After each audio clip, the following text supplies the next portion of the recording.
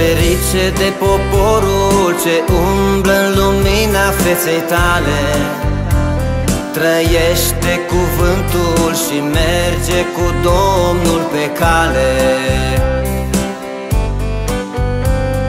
El nu se îndoiește căci are picioarele pe stâncă. E casa zidită ce valul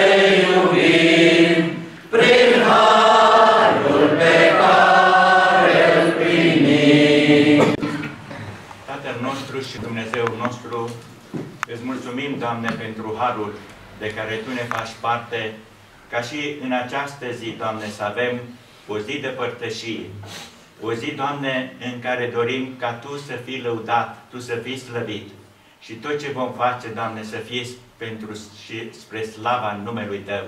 Ajută-ne ca să învățăm, Doamne, și totodată dă-ne har ca să punem în practică ca tot ceea ce Tu ne înveți, să, să punem în aplicație. Ajută-ne Tu, Doamne, ca să-L lăsăm pe Domnul Isus să trăiască în viața noastră acea viață care ție îți place, Doamne, pentru că de El îți place ție. Tu ți-ai găsit toată plăcerea în El. Ajută-ne Tu să atragem plăcerea Ta în viața noastră prin Domnul Isus și îți mulțumim în numele Domnului Isus. Amin. Amin. Tatăl nostru, mulțumim pentru Domnul Isus, în care ne-ai răscumpărat pentru Tine, oameni de pretutindeni, de orice vârstă, de orice stare socială. Mulțumim că lumina Harului Tău a pătruns și în țara noastră și în foarte multe localități. Mulțumim de clipele acestea minunate pe care le oferi ca să ne revedem din nou. Mulțumim de dorința Ta cu privire la noi, ca să-L cunoaștem mai bine pe Domnul Isus prin cuvântul Tău. Și apoi această cunoaștere să o duce mai departe la alții. Și acum Pavel îl îndemna pe Timotei ca ceea ce a auzit de la el să învețe pe oameni de încredere, ca aceștia la rândul lor să vorbească altora. Dă-ne, Doamne, și nouă harul acesta, să avem pe inimă creșterea noastră spirituală, dar și a celor cu care venim în contact, pentru că slujba în adunare este, are și menirea aceasta, pentru a face ca orice copil al tău să ajungă desăvârșit la înălțimea staturii plinătății Domnului Hristos. Mulțumim pentru frații care se ocupă în mod deosebit de această lucrare. Te rugăm să o crotești tu și să aducă rod pe unde se face această lucrare. Mulțumim că ne iubești, te, te lăudăm și te slăvim. Amin. Amin. Este un har minunat Dumnezeul nostru, este o onoare și un har pe care Tu ne l-ai oferit în dimineața aceasta, ca din atâtea locuri să fim în prezența Ta și a cuvântului Tău. Ne închinăm cu adânc respect și îți mulțumim în numele Domnului Hristos. Lui datorăm faptul că suntem aici. Am avut acest privilegiu să se oprească în dreptul fiecare dintre noi. Mulțumim că ne-ai făcut posibil intrare în familia ta. Ne-ai dat acest drept măreț de ne numi copii de Dumnezeu. Sonat mă închin înaintea ta și îți mulțumesc că am harul să văd frați și surori care, ca și pe mine, ei cules din gunoaile lumea acesteia. Mulțumim că ne-ai primit în familia ta frumoasă. Mulțumim că avem un Mântuitor desăvârșit, care în Sfânta Sfintelor mijlocește pentru noi și azi privește cu bucurie. Câțiva din lumea aceasta pentru care a murit El s-au adunat în numele Lui. Nu avem alt scop decât să ne închinăm înaintea Ta și o facem cu multă reverență. Mulțumim pentru acest prilej minunat de a sta împărtășie cu Tine și cu cuvântul Tău. Ne închinăm pentru tot ce ne vei oferi și dorim ca Duhul Tău cel Sfânt să lucreze pentru gloria Domnului Hristos, pentru slava Ta și binele nostru veșnic. Amin. Amin. Este un har minunat și scump sufletului nostru, Părintele nostru Ceresc, că în planul Tău veșnic ai rânduit momente ca acestea, când Tu să ne vorbești prin lucrurile minunate pe care Tu le-ai stabilit pentru fiecare dintre noi, ca în planul Tău minunat de mântuire, Doamne, să ne îmbraci cu puterea de care avem nevoie, ca să slujim Ție de mărturie, într-o lume ostilă Ție. Doamne, noi suntem aici prin îndurarea și harul Tău. Și te rugăm în numele Domnului Isus să ne dai o minte înțeleaptă și să ne ajuți, Doamne Dumnezeule, ca tot ceea ce Tu vrei să ne dăruiești, să primim, Doamne, din mâna Ta, să fim responsabili de tot ceea ce ne dai, Doamne, și să punem în practica vieții noastre. Te rugăm să binecuvintezi pe fratele Vasile și pe toți cei care vor vorbi, Doamne, Dumnezeul nostru, din partea Ta, să le dai Duhul Tău cel Sfânt și călăuzirea de care au nevoie ca tot ceea ce Tu ai rânduit pentru fiecare să ajungă la noi clar, precis și să putem să trăim, Doamne Dumnezeul nostru, în rânduirea aceasta pentru fiecare să aducem rod spre slava Ta și îți mulțumim în numele Domnului Isus. Amin. Amin. Mulțumim, Doamne Tată, că ne-ai dat ocrotirea Ta cea bună și am ajuns în locul acesta mulțumim că ne primești aici la Tine, Doamne, după credincioșia Ta, unde sunt doi sau trei, în numele Domnului Isus. Ești mereu credincios și ești prezent ca să dai binecuvântarea și să ne împărtășești cu viața cea adevărată prin descoperirea Domnului Isus, cel pe care l-ai trimis în lume, a venit să caute să mântuiască ce era pierdut, mântuit într-adevăr și noi și îți mulțumim și te lăudăm. Mi l-ai descoperit prin Evanghelie, prin Duhul Sfânt. Îți mulțumim pentru toți aceia, Doamne, de care te-ai folosit ca din generație în generație această glorioasă Evanghelie să ajungă și la noi, să Mulțumim, Doamne, că prin credință ne bucurăm de această mântuire de plină și de săvârșită. Mulțumim că ne-ai introdus în procesul acesta, Doamne, de sfințire până la venirea Domnului Isus, ca să ne faci capabili să slujim și noi la rândul nostru, Doamne, la rândul generației noastre, ca ceea ce am primit prin har, prin lumina Duhului Sfânt, prin Evanghelie, să putem transmite mai departe. Și te rugăm, Doamne, și pentru generațiile care vin, pentru generația tânără și pentru tinerii care sunt aici în mod deosebit să îi binecuvintezi în mod special în ziua aceasta, Doamne, și împreună cu toți să lăudăm numele Tău, vestându-L pe Domnul Isus din viața noastră, prin învățătura pe care să o urmăm, Doamne, învățătura cea sănătoasă și pe care să o putem oferi și altora, fie în cadrul părtășilor de biserică, fie în lume prin Evanghelie. Fie binecuvântarea Ta de plină peste noi și în ziua aceasta să contribuie, Doamne, la creșterea noastră spirituală, la asemănarea noastră cu Domnul Isus, la înflăcărarea fericitei noastre nădejdi și a dorinței de a-i sluji Lui până la venirea Lui. Amin. Amin. Ne mă laud mereu cu tine, Iisuse, cu tine, Iisuse,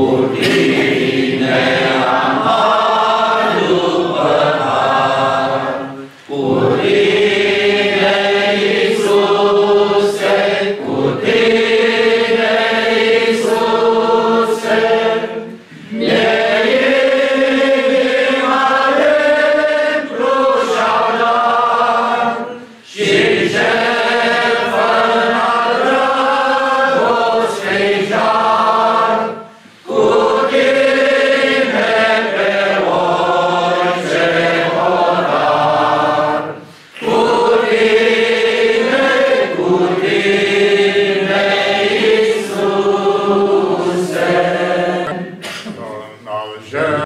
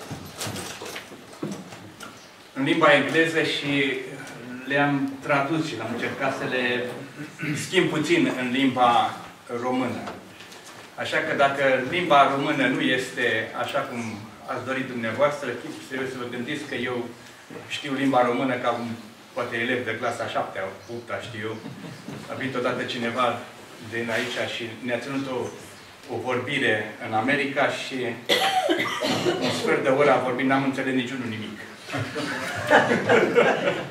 După un sfert de oră a coborât la noi. Și am mai înțeles și noi ceva. Trebuie să gândiți că am 32 de ani, aproape 33 de ani, mai puțin 33 de ani de când am plecat de aici și nu mai știu așa de bine. Așa cum am spus la început, e vorba despre ucinicizare.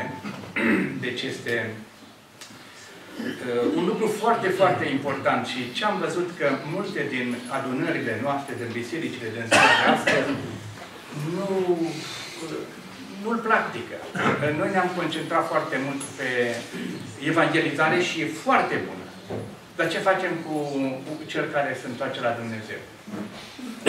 Ce facem cu el? Aici este problema cea mai mare. Uh, pentru cei care doriți, eu le-am am scris foarte mult, deci este, uh, am scris destul de mult. Pentru cei care doriți, îmi dați uh, uh, e-mail-ul și le trimit. Deci nu vă le trimit. Adică puteți să vă notițe, dar vă le trimit cei care doriți. Am spus că uh, în Kenya, spre exemplu, un seminar ca ăsta ține două săptămâni, câte 8 ore pe zi, 5 ori deci vă da, ne dăm seama cât, eh, cum este.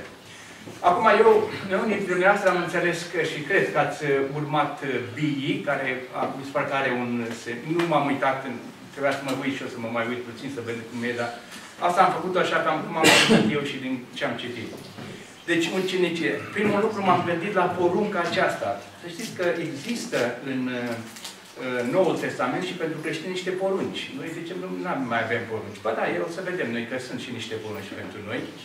O să încercăm să facem ucenicie, ucenicie definiția, să vedem ce este.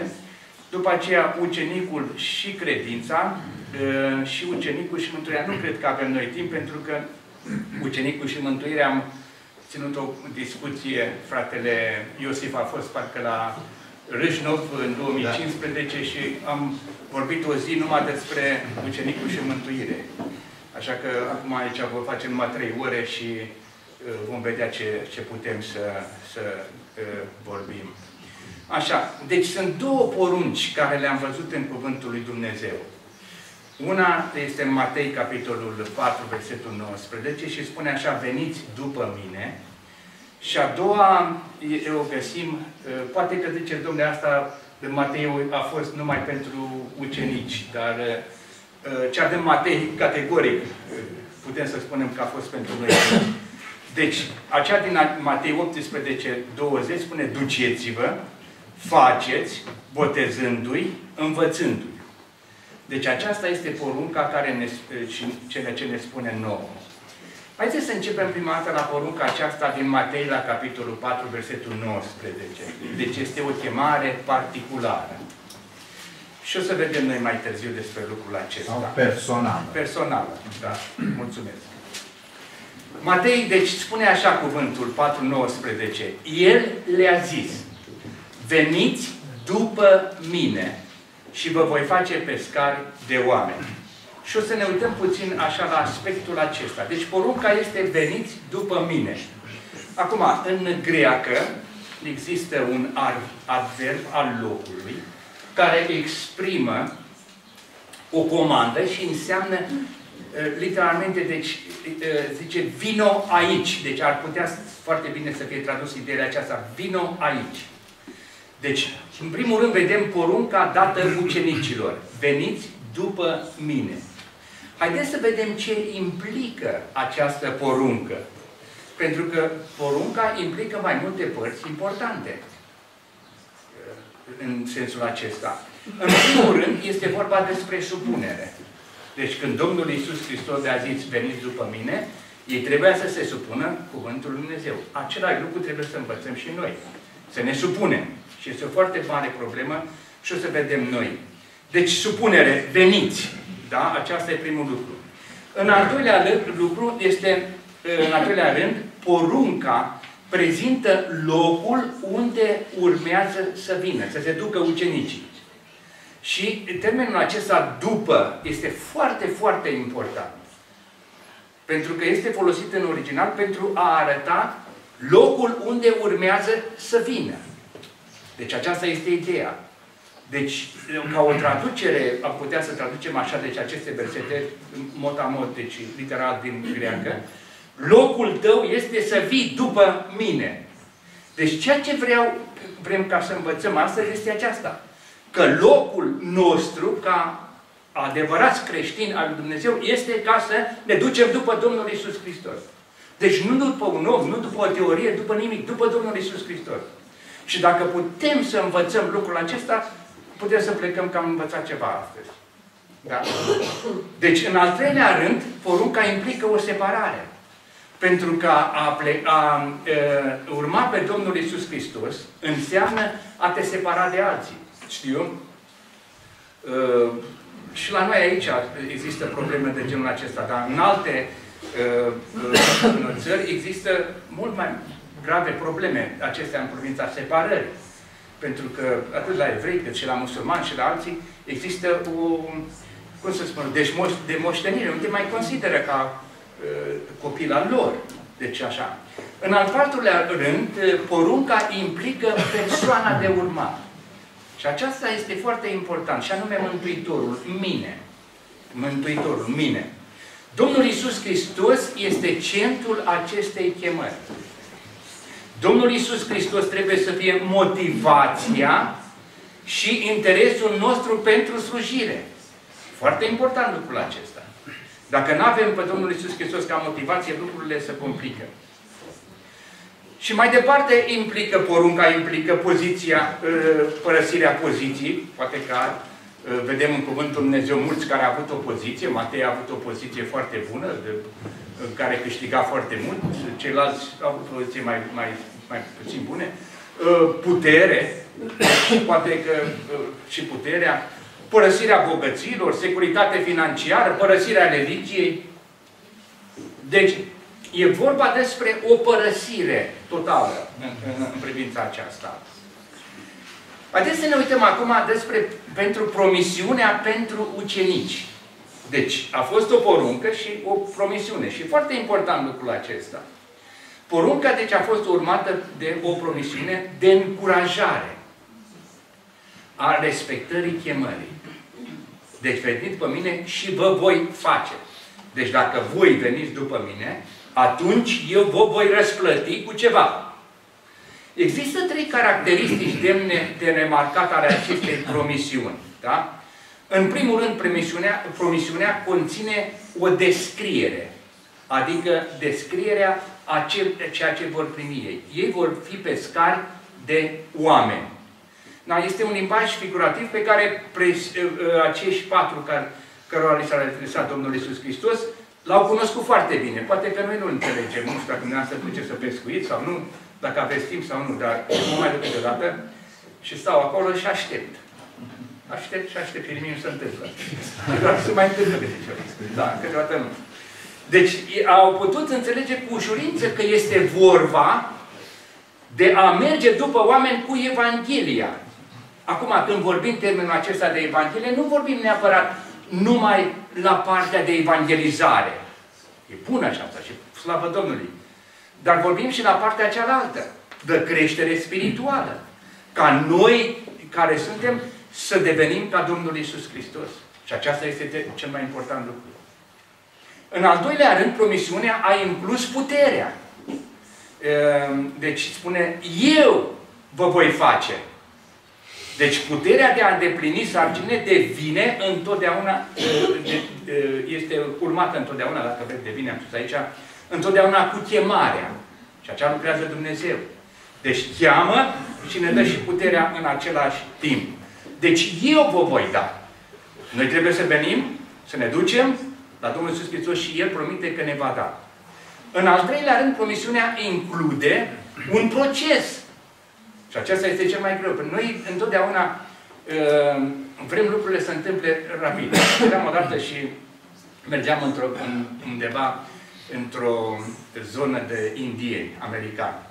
Și acolo era un anunț. Zice, noi primim și bani de plastic. Ce era bani de plastic? E vorba despre Visa și Mastercard.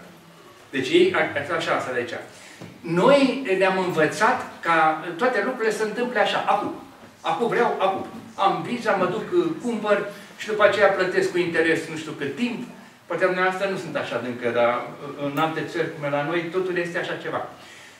Și este foarte greu să învățăm că este vorba despre un proces care are loc. Un proces. Și aceasta de a deveni, care indică faptul că slujirea divină nu se întâmplă dintr-o dată. Pentru că este vorba despre separare, despre sfințire. Iar sfințirea este un proces. Noi știm foarte bine că mântuirea este uh, are trei timpuri, trei faze. În primul rând este vorba despre neprihănire, suntem făcuți neprihăniți. Aceasta este, are loc dintr-o dată în care suntem justificați, suntem declarați uh, neprihăniți. Și după aceea este procesul acesta de sfințire, în care ne separăm de viața de înainte, ne separăm de păcat și ne apropiem mai mult de Domnul Isus Hristos. Și după aceea este partea aceasta de glorificare. Deci era nevoie de timp pentru a învăța, a instrui ucenicii pentru lucrarea lor. Și acum este timp, și pe, uh, timp pe care trebuie și noi să-l petrecem ca să creștem și să uh, și, și să devenim sau să ne apropiem de Domnul Isus Hristos. Acum, haideți să mergem la cea de-a doua poruncă. Deci, a doua poruncă, care majoritatea oamenilor consideră că se referă și la noi cei din ziua de astăzi. Deci aceasta este marea chemare sau însărcinare. Și are câteva aspecte. Duceți-vă, faceți, botezându-i, învățându-i. Uh, am să, să citesc, dumneavoastră cunoașteți majoritatea, cred, probabil, și sunt convins. Este vorba despre Matei, capitolul 28, versetele 18 până la 20. Spune așa. Iisus s-a apropiat de ei, a vorbit cu ei, le-a zis, toată puterea mi-a fost dată în cer și pe pământ. Un lucru foarte important. Și după aceea zice, duceți-vă, faceți ucenici din toate neamurile, botezându-i în numele Tatălui, al Fiului și al Sfântului Duh. Învățându-i să păzească tot ce v-am poruncit și iată că eu voi fi cu voi în toate zilele până la sfârșitul veacului. Cam puțin așa. Sunt patru caracteristici, patru, sunt cinci, mă scuzați, părți în această mare însărcinare pe care Domnul Iisus Hristos a dat-o, le oferă ucenicilor. În primul rând mergeți, după aceea e vorba despre ucinicizare, după aceea este botezul, după aceea este învățătura, după aceea promisiunea pentru ucenic. Am să discut toate. Acum, uh, uh, noi care suntem, uh, cum să spunem, într-o țară, botezul nu punem, punem atât mare pe el. Sau, trebuie pot și botezul, că este partea Cuvântului Dumnezeu, dar în țările în care lucrăm, spre exemplu în Africa, aceasta este un lucru foarte important. În Asia, în Vietnam, în Cambodgia, uh, cum să spun eu, pentru ei este o declarație, o separare în care se separă de, de ceea ce erau înainte și mergeau. Uh, eu n-am înțeles însemnătatea aceasta până când am mers acolo ca să văd exact uh, ce, ce, ce sunt cât de mult.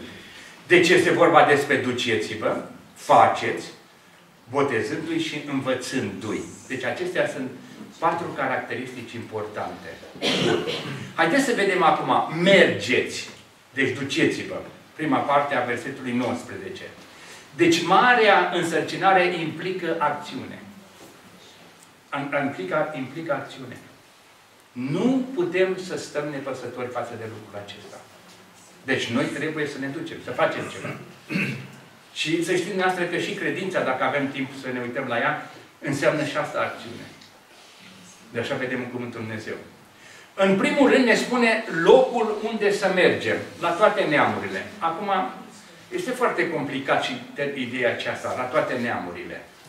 Aceasta nu este o însărcinare doar, uh, care a fost doar pentru evrei, și este vorba, a inclus de asemenea și neamurile și noi. Și în felul acesta, noi am ajuns ca să cunoaștem Evanghelia. În tradiție se spune că fratele Andrei, deci apostolul Andrei, ar fi venit uh, în partea de sud a României și ar fi ajuns până la localitatea Nămăiești. Nu mai este. Așa se spune tradiția. Acum, nu știu, probabil că e adevărat sau nu e adevărat. Provederea în ce. Dar un singur lucru pot să spun, că Biblia a ajuns la noi. Da? În al doilea rând, ă, termenul pe care să mergem. Deci în termenul. Temei. Temeiul. Temei. Am, da, da, așa, temeiul, temeiul, mă scuze. Temeiul pe care trebuie să mergem. Deci se referă la faptul că Domnul Isus a primit toată puterea în cer și pe pământ. Deci prin faptul acesta că Domnul Isus Hristos a primit toată puterea în cer și pe pământ, atunci El ne spune și nouă ca să mergem. Și pe ce, care este temeiul? Puterea Domnului Isus Hristos. Deci nu mergem noi singuri de capul nostru, ci Domnul Isus Hristos este acela. Sau, sau autoritatea. Autoritatea, da. Sigur, autori, da, autoritatea. În limba greacă, versetul 19, în versetul 19, deci este un cuvânt care nu s-a tradus în limba română, cuvântul oun translatat, transliterat. Și acest cuvânt este foarte important, dar poate că se subînțelege. Ideea este aceasta. Prin urmare, sau consecința, din cauza aceasta, din acest motiv, pe acest teren. Deci, ideea este aceasta, că pe terenul că toată puterea mi-a fost dată în cer și pe pământ, mergeți. Din cauza că toată puterea mi-a fost dată în cer și pe pământ, mergeți. Pe ace din acest motiv, mergeți. Prin urmare, prin consecință, mergeți. Deci, tot ce se bazează în această uh, poruncă, se bazează pe versetul 18, în care spune că toată puterea, toată autoritatea i-a fost dată Domnului Isus Hristos în cer și pe pământ. Din acest motiv, din cauza acest, uh, aceasta, pe acest teren duceți-vă și faceți utenicii. Din baza aceasta, ce vă și face, de se referă la autoritatea Domnului Isus Hristos. În al treilea rând, există o dificultate. Nu să știți, cei care lucrați în câmpul Evangheliei știți. Toate neamurile. Nu este ușor cu privire la, împlinit, la împlinirea acestei porunci. Nu este simplu. Nu este nimic ușor, să știți. În împlinirea acestei porunci, a lui Dumnezeu, este nevoie de o muncă grea. Să știți că lucrăm, lucrăm cu oamenii. Și uh, foarte dificil. Oamenii sunt unici, o să vedem noi mai târziu. Eu știți că uh, am, uh, am învățat ceva, poate că dumneavoastră știați. Zice că fiecare fir de iarbă care există în lume este unic.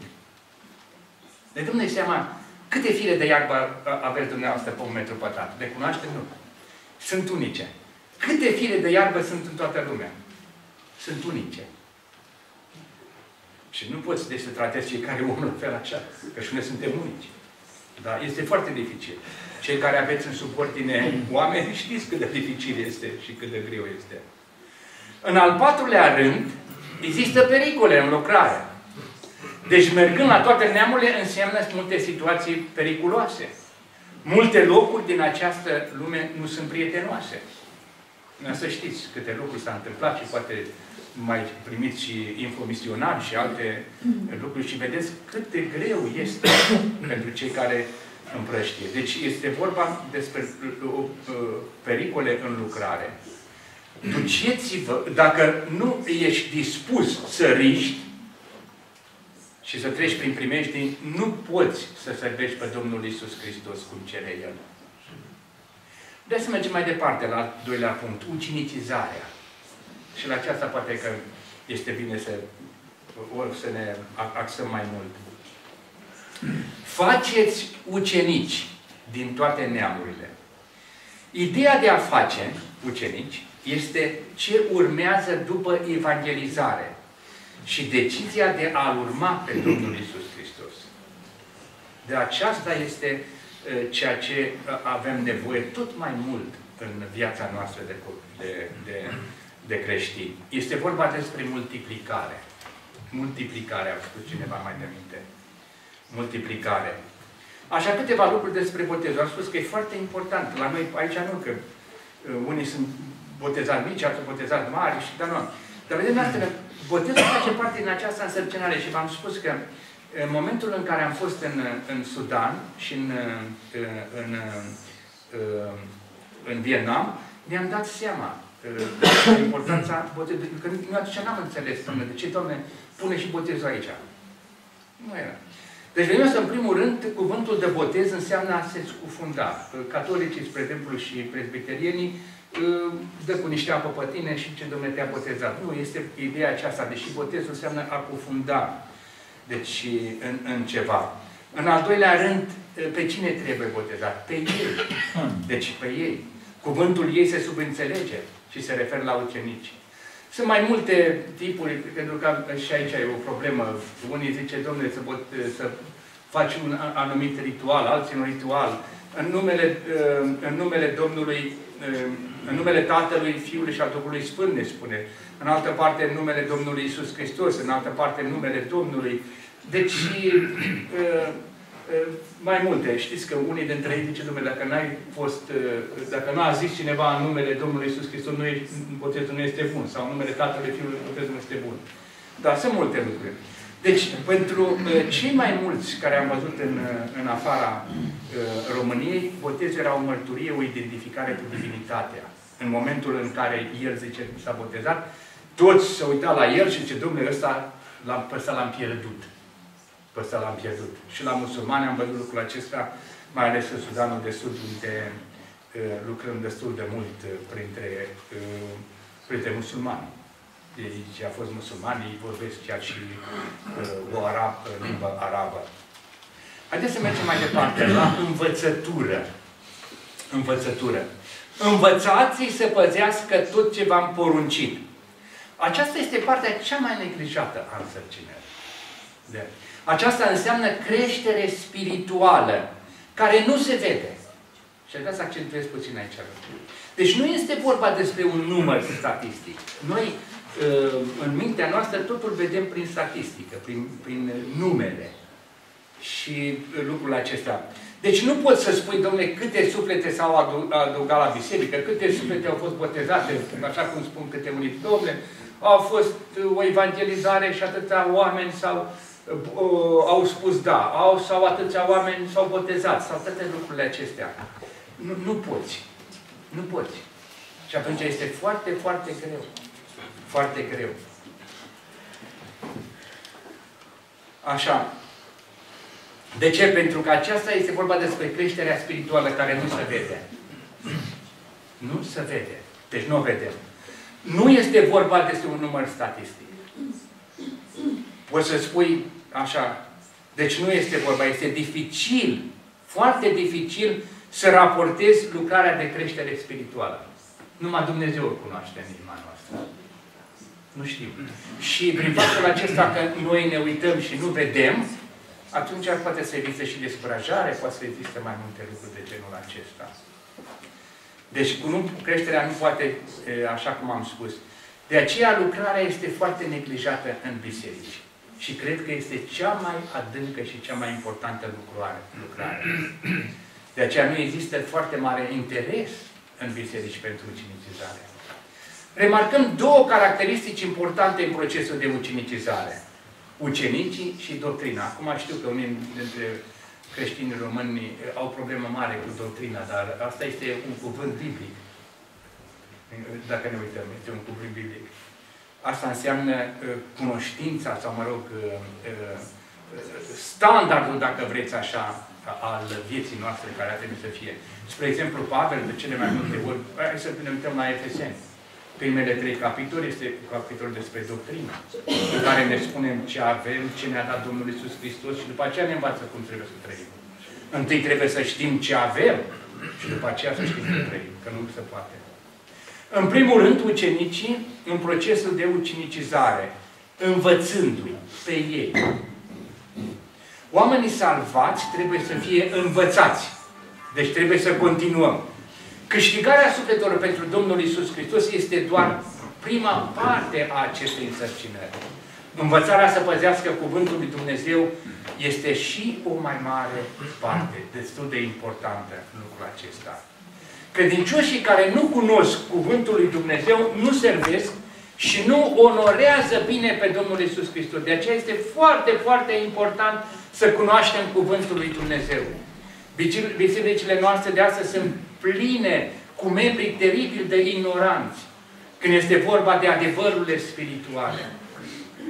Deoarece aceștia nu studiază, nu cunosc Scriptura. De aceea sunt mutați într-o parte și alta de fel de fel de, de, de idei, fel de fel de, de lucruri de genul acesta. Învățături, sigur, de învățături. De aceea este foarte, foarte important lucrul acesta. În al doilea rând, doctrina de ucenicizare. Ce trebuie să învățăm?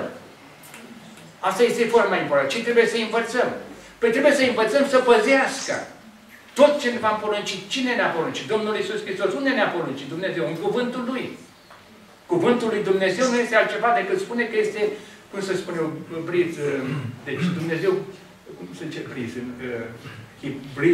uh, are respirația lui Dumnezeu, practic. Da. Deci este respirația lui Dumnezeu, îmi cer scuze câteodată mai uh, Este respirația lui Dumnezeu.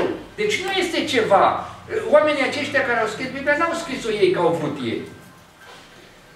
Ci Duhul Sfânt a fost Cel care le-a pus cuvintele în gură. În, în, în, în, și ei le-au scris acolo. Oamenilor nu le plac poruncile.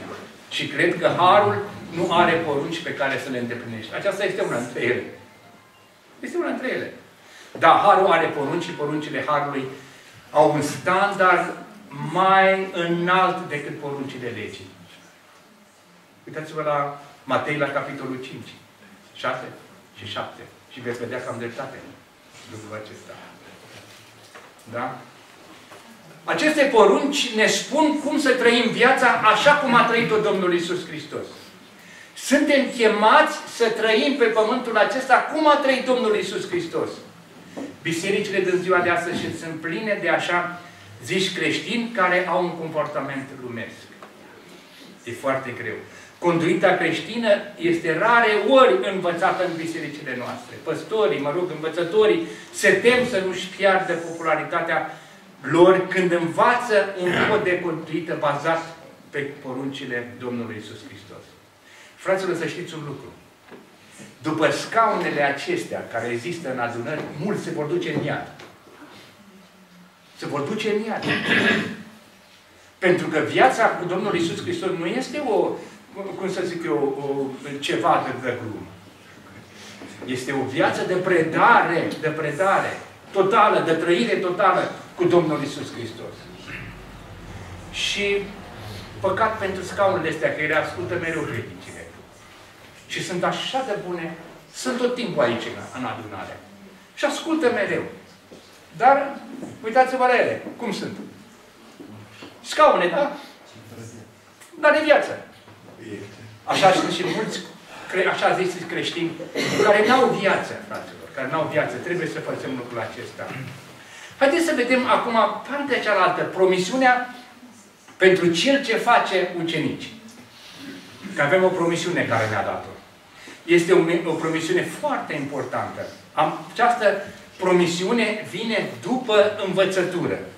Învățăturile sunt adesea legate de promisiuni, dar de multe ori vin înainte de promisiune.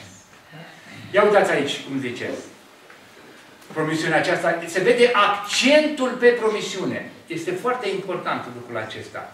Cuvântul acesta, iată. V-ați gândit poate la cuvântul acesta, iată? Sigur că nu cred că ne-am gândit. Nici eu până să mă uit aici mai, mai așa, mai atent m-am gândit. Dar este un cuvânt care are o semnificație importantă. Cuvântul, iată, servește pentru a atrage atenția asupra celor exprimate în propoziția care urmează. Fii atent. Iată. Această promisiune este foarte importantă pentru că oferă o motivație pentru împlinirea însărcinării, pentru săciniri prin poruncii. Inima promisiunii, eu voi fi cu voi. Aceasta este foarte important. Prezența Domnului Isus Hristos este esența promisiunii. Trebuie să ne bazăm pe lucrul acesta. Asta este la noi. Deci nu plecăm singuri. Avem pe cineva în spate care, care ne duce, care ne ajută, care ne face. Acest lucru nu a însemnat prezența trupească a Domnului Isus Hristos, dar prezența Lui spirituală. Acest lucru ne spune uh, și în Matei, căci acolo unde sunt doi sau trei adunați în numele meu, sunt și eu în mijlocul lor. Acum mulți uh, discută despre aceasta într-un alt fel, eu o iau așa cu literal cum scrie. Dacă greșesc, voi vedea acolo, dar nu cred că greșesc. Această promisiune este prezența sublimă, prezența uh, Domnului Iisus Hristos, care subliniază Dumnezeirea Domnului Iisus Hristos. Căci numai Dumnezeu ar putea face o promisiune a omniprezenței sale. Numai El. Ca să fie cu noi. Păi este acum și cu, și cu cei care au început uh, ziua de duminică în uh, Japonia și în alte părți. El este cu noi. Este și aici cu noi. Este și cu alții. Va fi și cu cei care se termină în America, în, în Hawaii și așa mai departe. Haideți să mergem la al treilea lucru și anume la amploarea aceasta a promisiunii. Și iată că eu sunt cu voi cât timp? În toate zilele, până la sfârșitul veacului. Mă, fraților, înțelegem noi lucrul acesta? Deci nu este cu noi numai când plecăm, nu este cu noi când facem ceva, nu! Ci este cu noi în toate zilele. Deci de dimineața până seara, 365 de zile pe an. E cu noi. Și după aia ne spune, mă, fii atent până la sfârșitul veacului. Deci este cu noi acum, va fi cu noi și cu, cu copiii noștri și cu alții și cu alții până la sfârșitul veacului. Deci înțelegem noi lucrul acesta? Prezența Lui va fi cu noi până la sfârșitul veacului. Trebuie să ne bazăm să facem. Adică El va fi prezent în mod spiritual, spiritual până când El se va întoarce în trup aici pe pământ. Și, și cu noi vom fi cu El atunci. Aici vedem o încurajare a promisiunii. Matei la 20. Și zice, eu voi fi cu voi. Și aici vreau să, uh, să uh, eu sunt cu voi, mă scuzați, nu voi, e foarte bună ideea. Eu sunt cu voi. Este vorba despre un prezent continuu. Am fost, este și voi și mulțumesc. Haideți să ne uităm la lucrul acesta. Și aici este o, o problemă a noastră a fiecăruia. Pentru că noi ne uităm la ce vedem. Spre exemplu, Moise nu a călătorit fără prezența lui Dumnezeu, așa cum vedem în Exod la capitolul 33, versetele 14 și 15. Este prezența Domnului Isus Hristos care ne încurajează în serviciul nostru. În serviciul nostru.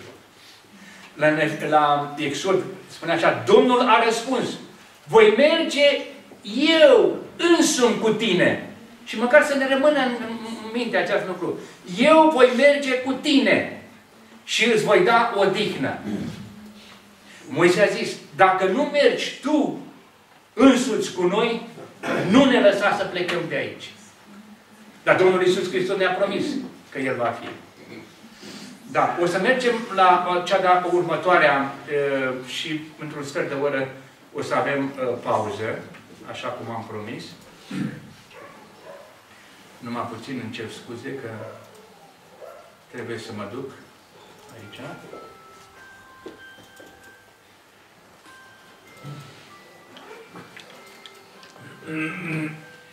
Acum aș vrea să trecem la următorul aspect.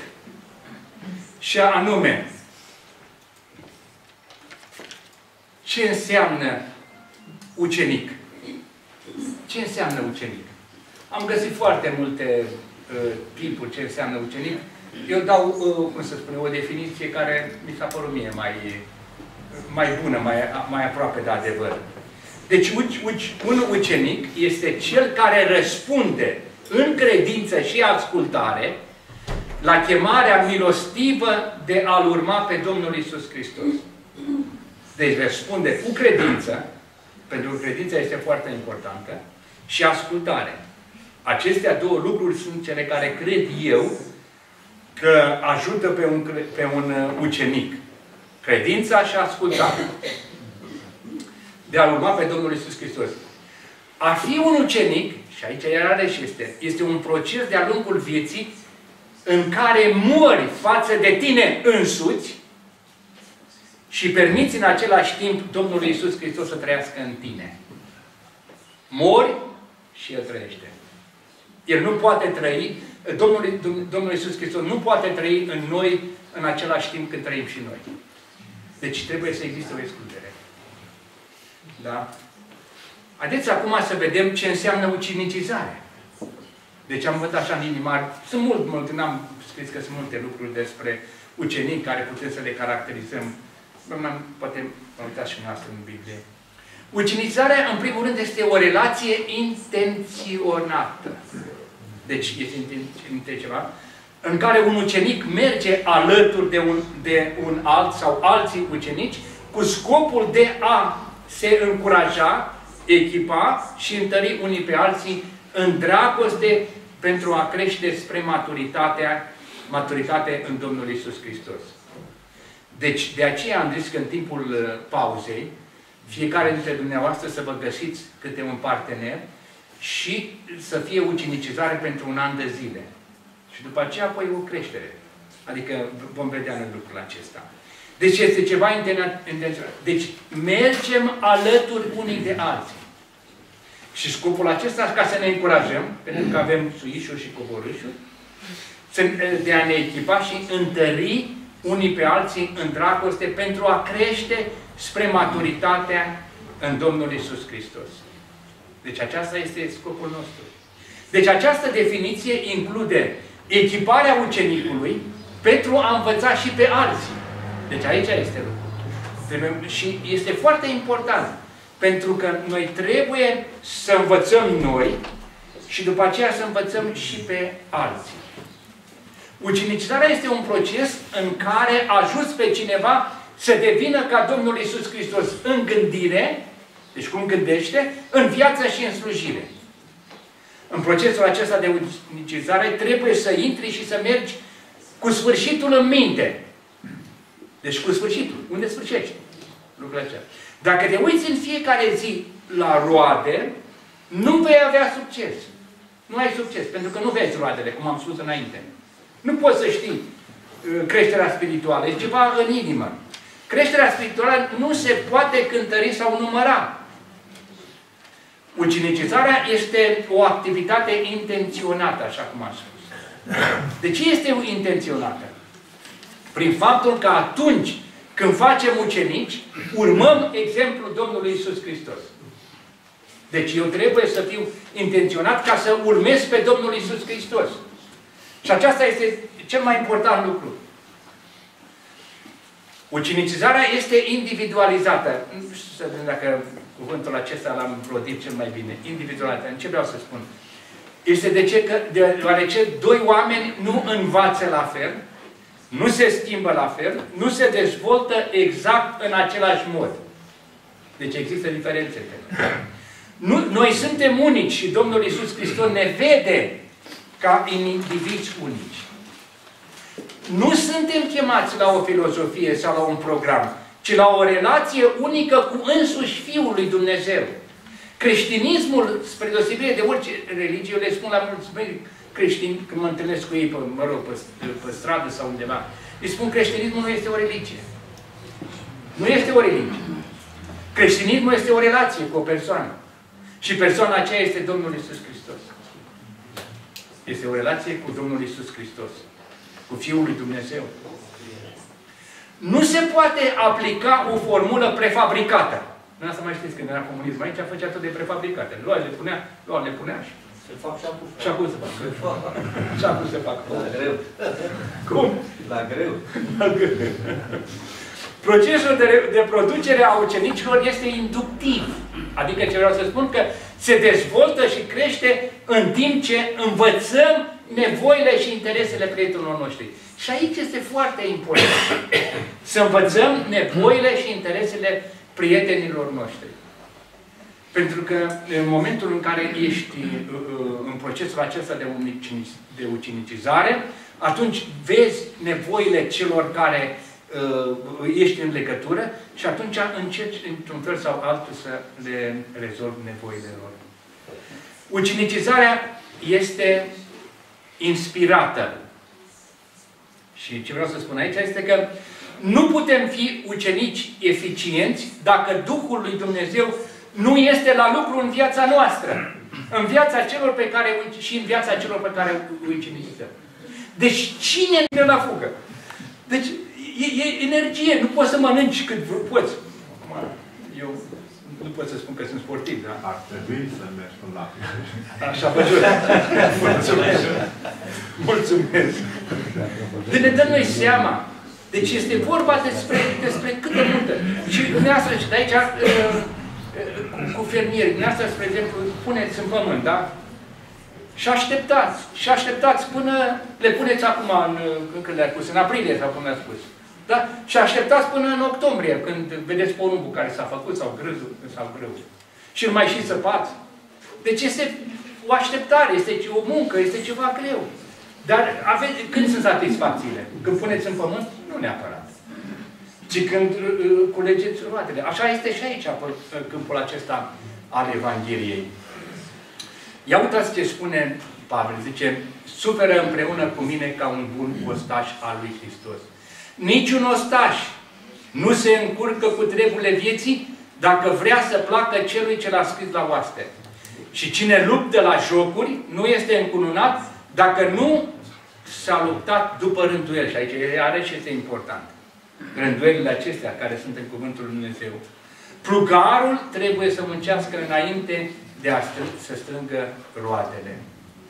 Tripul de ucinicizare, care le-am văzut în Cuvântul Dumnezeu, unul cu altul, deci doi, și unul cu mai mulți.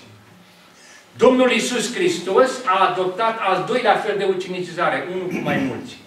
Domnul Isus Hristos s-a limitat la 12, 11 au fost, și cu aceștia și-a extins influența în toată lumea. Când Domnul Isus a înălțat la Tatăl, știa că cel puțin 11 vor sluji sub autoritatea numelui Său și acești 11 vor produce o creștere cel puțin de 11 ori. Și ia să ne uităm că suntem aici.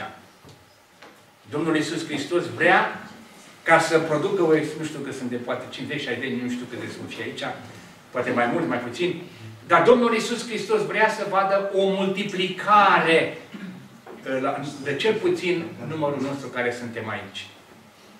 Pavel a aplicat același fel de ucinicizare. Ia uitați ce spune în Coloseni, capitolul 1, versetul 21, spune Pe El îl propovăduim noi. Exact ce am spus până acum. Și sfătuim pe orice om, deci pe orice creștin, pot să spun pe toți cei care sunt aici, și învățăm pe orice om în toată înțelepciunea ca să înfățișăm pe orice om desăvârșit în Hristos Iisus. Iată la ce lucrez eu.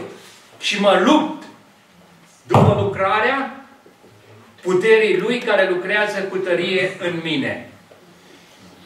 Deci, care este, care este ideea noastră? Ca să înfățișăm pe orice om desăvârșit în Domnul Isus Hristos.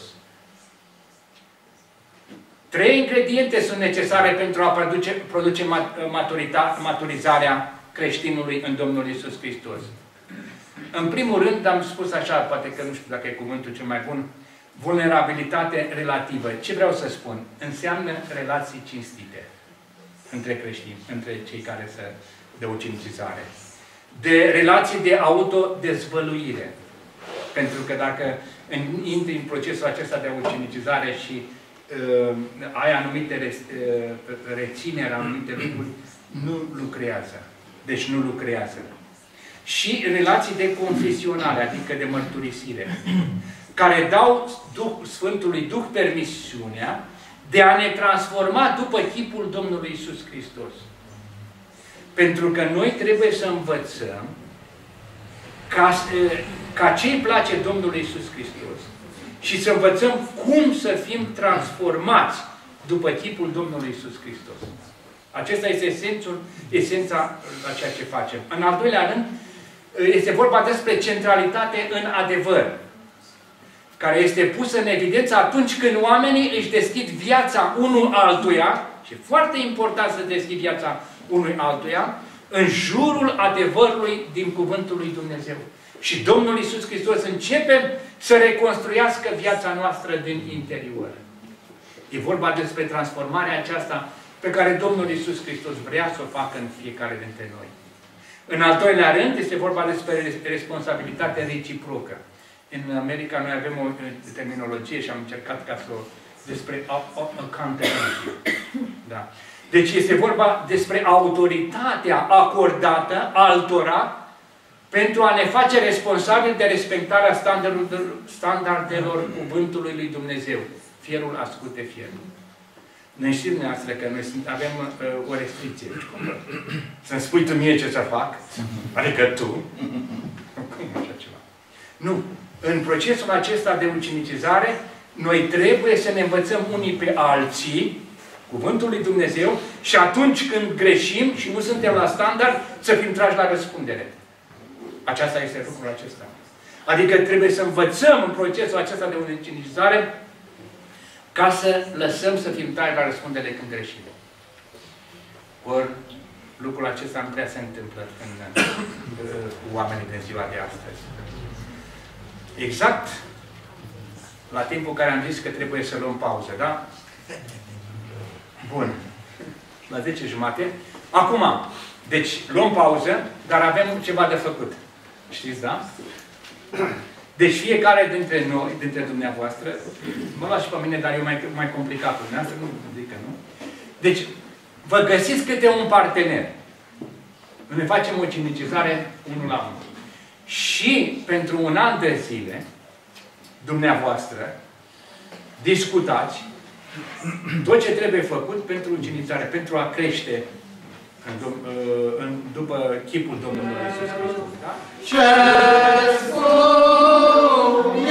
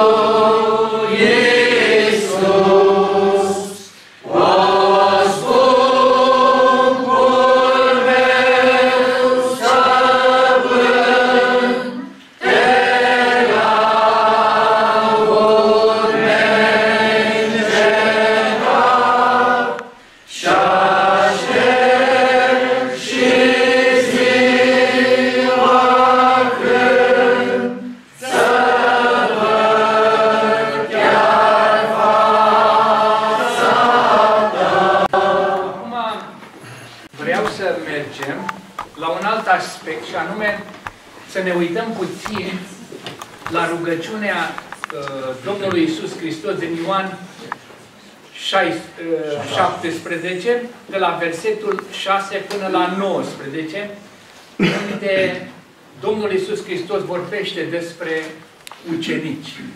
Și câteva lucruri vom vedea. Am să, să citesc ca să avem proaspăt în minte aceste versete. Am făcut cunoscut numele Tău oamenilor pe care mi-ai dat din lume. Ai tăi erau și Tu mi-ai dat și ei au păzit cuvântul Tău. Acum au cunoscut că tot ce mi-ai dat Tu vine de la Tine, căci le-am dat cuvintele pe care mi le-ai dat Tu, ei le-au primit și au cunoscut cu adevărat că de la Tine am ieșit și au crezut că Tu m-ai trimis. Pentru ei mă rog. Nu mă rog pentru lume, ci pentru aceea pe care mi-ai dat Tu, pentru că sunt ai Tăi. Tot ce este al meu este al Tău și ce este al Tău este al meu. Și eu sunt proslăvit în ei. Eu sunt în lume. Eu nu mai sunt în lume, dar ei sunt în lume. Și eu vin la tine, Sfinte Tată, păzește în numele Tău pe aceea pe care mi-ai dat, ca ei să fie una cum suntem și noi. Când eram cu ei în lume, îi păzeam eu în numele Tău. Eu am păzit pe aceea pe care mi-ai dat și nici unul din ei n-a pierit afară de fiul pierzării, ca să se împlinească Scriptura. Dar acum, eu vin la tine și spun aceste lucruri pe când sunt încă în lume, pentru ca să aibă în ei bucuria mea de plină. Le-am dat cuvântul tău și lumea i-a urât, pentru că ei nu sunt din lume, după cum eu nu sunt din lume. Nu te rog să-i iei din lume, ci să-i păzești de cel rău. Ei nu sunt din lume, după cum nici eu nu sunt din lume. Sfințește-i prin adevărul tău. Cuvântul tău este adevărul. Cum ai trimis tu pe mine în lume, așa i-am trimis și eu pe ei în lume. Și eu însumi mă sfințesc pentru ei, ca și ei să fie sfinți prin, sfințiți prin adevăr. Aceasta este a doua parte a rugăciunii Domnului Iisus Hristos. Știm că are trei părți, părți mai multe, alții o împart mai multe, mă rog, să poate face. Deci aceasta este a doua parte a mare rugăciune a Domnului Iisus Hristos, care a fost făcută pentru ucenici. Este cea mai lungă secțiune a rugăciunii. Ia să vedem ce putem să învățăm noi din, aceast, din aceste versete, da? În primul rând, primul lucru pe care îl vedem este școala ucenicilor. În versetul 6 spune, am făcut cunoscut numele tău oamenilor pe care mi-ai dat. Okay? Cuvântul cunoscut înseamnă a face cunoscut ceea ce a fost ascuns sau necunoscut până atunci. Deci aceasta este sensul cuvântului. Aici este vorba despre învățătura Domnului Isus Hristos, despre educarea sau învățarea altora. Ia să vedem. În primul rând, vedem aici subiectul învățăturii sau învățării. Și acest lucru trebuie să fie și pentru noi. Ce subiect să avem noi, ok? Numele Tău. Deci întotdeauna când învățăm pe alții, trebuie să avem în vedere numele Domnului Isus Hristos. Dumnezeu. Cuvântul numele indică toate lucrurile care se pot cunoaște despre Dumnezeu. Este uh, o idee foarte importantă în Cuvântul lui Dumnezeu când vorbim despre numele lui Dumnezeu. Domnul Isus Hristos a dezvăluit natura și caracterul lui Dumnezeu. Numele unei persoane reprezintă caracterul și natura acelei persoane. În limba română și în ziua de astăzi nu mai sunt acele lucruri, dar în limba ebraică și greacă în timp uh, înainte, același lucru era. Noi știm cum Dumnezeu schimba numele anumitor patriarhi și chiar și apostolului Pavel. Deci în timpul Domnului Isus Hristos, Dumnezeu era cunoscut prin Iahweh. Numele Eu sunt. Acum, îmi cer scuze dacă eu nu sunt de acord cu numele Jehova. Pentru că nu este, numele lui Jehova nu este în Biblia evreiască. Numele Jehova a fost uh, uh, adus în 1800, dacă nu mă înșel, de nemți, de germani, de un, și nu exprimă realitatea. Deci cuvântul care se găsește acolo este Yahweh și înseamnă uh, eu sunt, deci de la verbul a fi, înseamnă el a fost, este și va fi. Este cel mai sfânt cuvânt din uh, literatura, sau mă rog, din vocabularul evreiesc.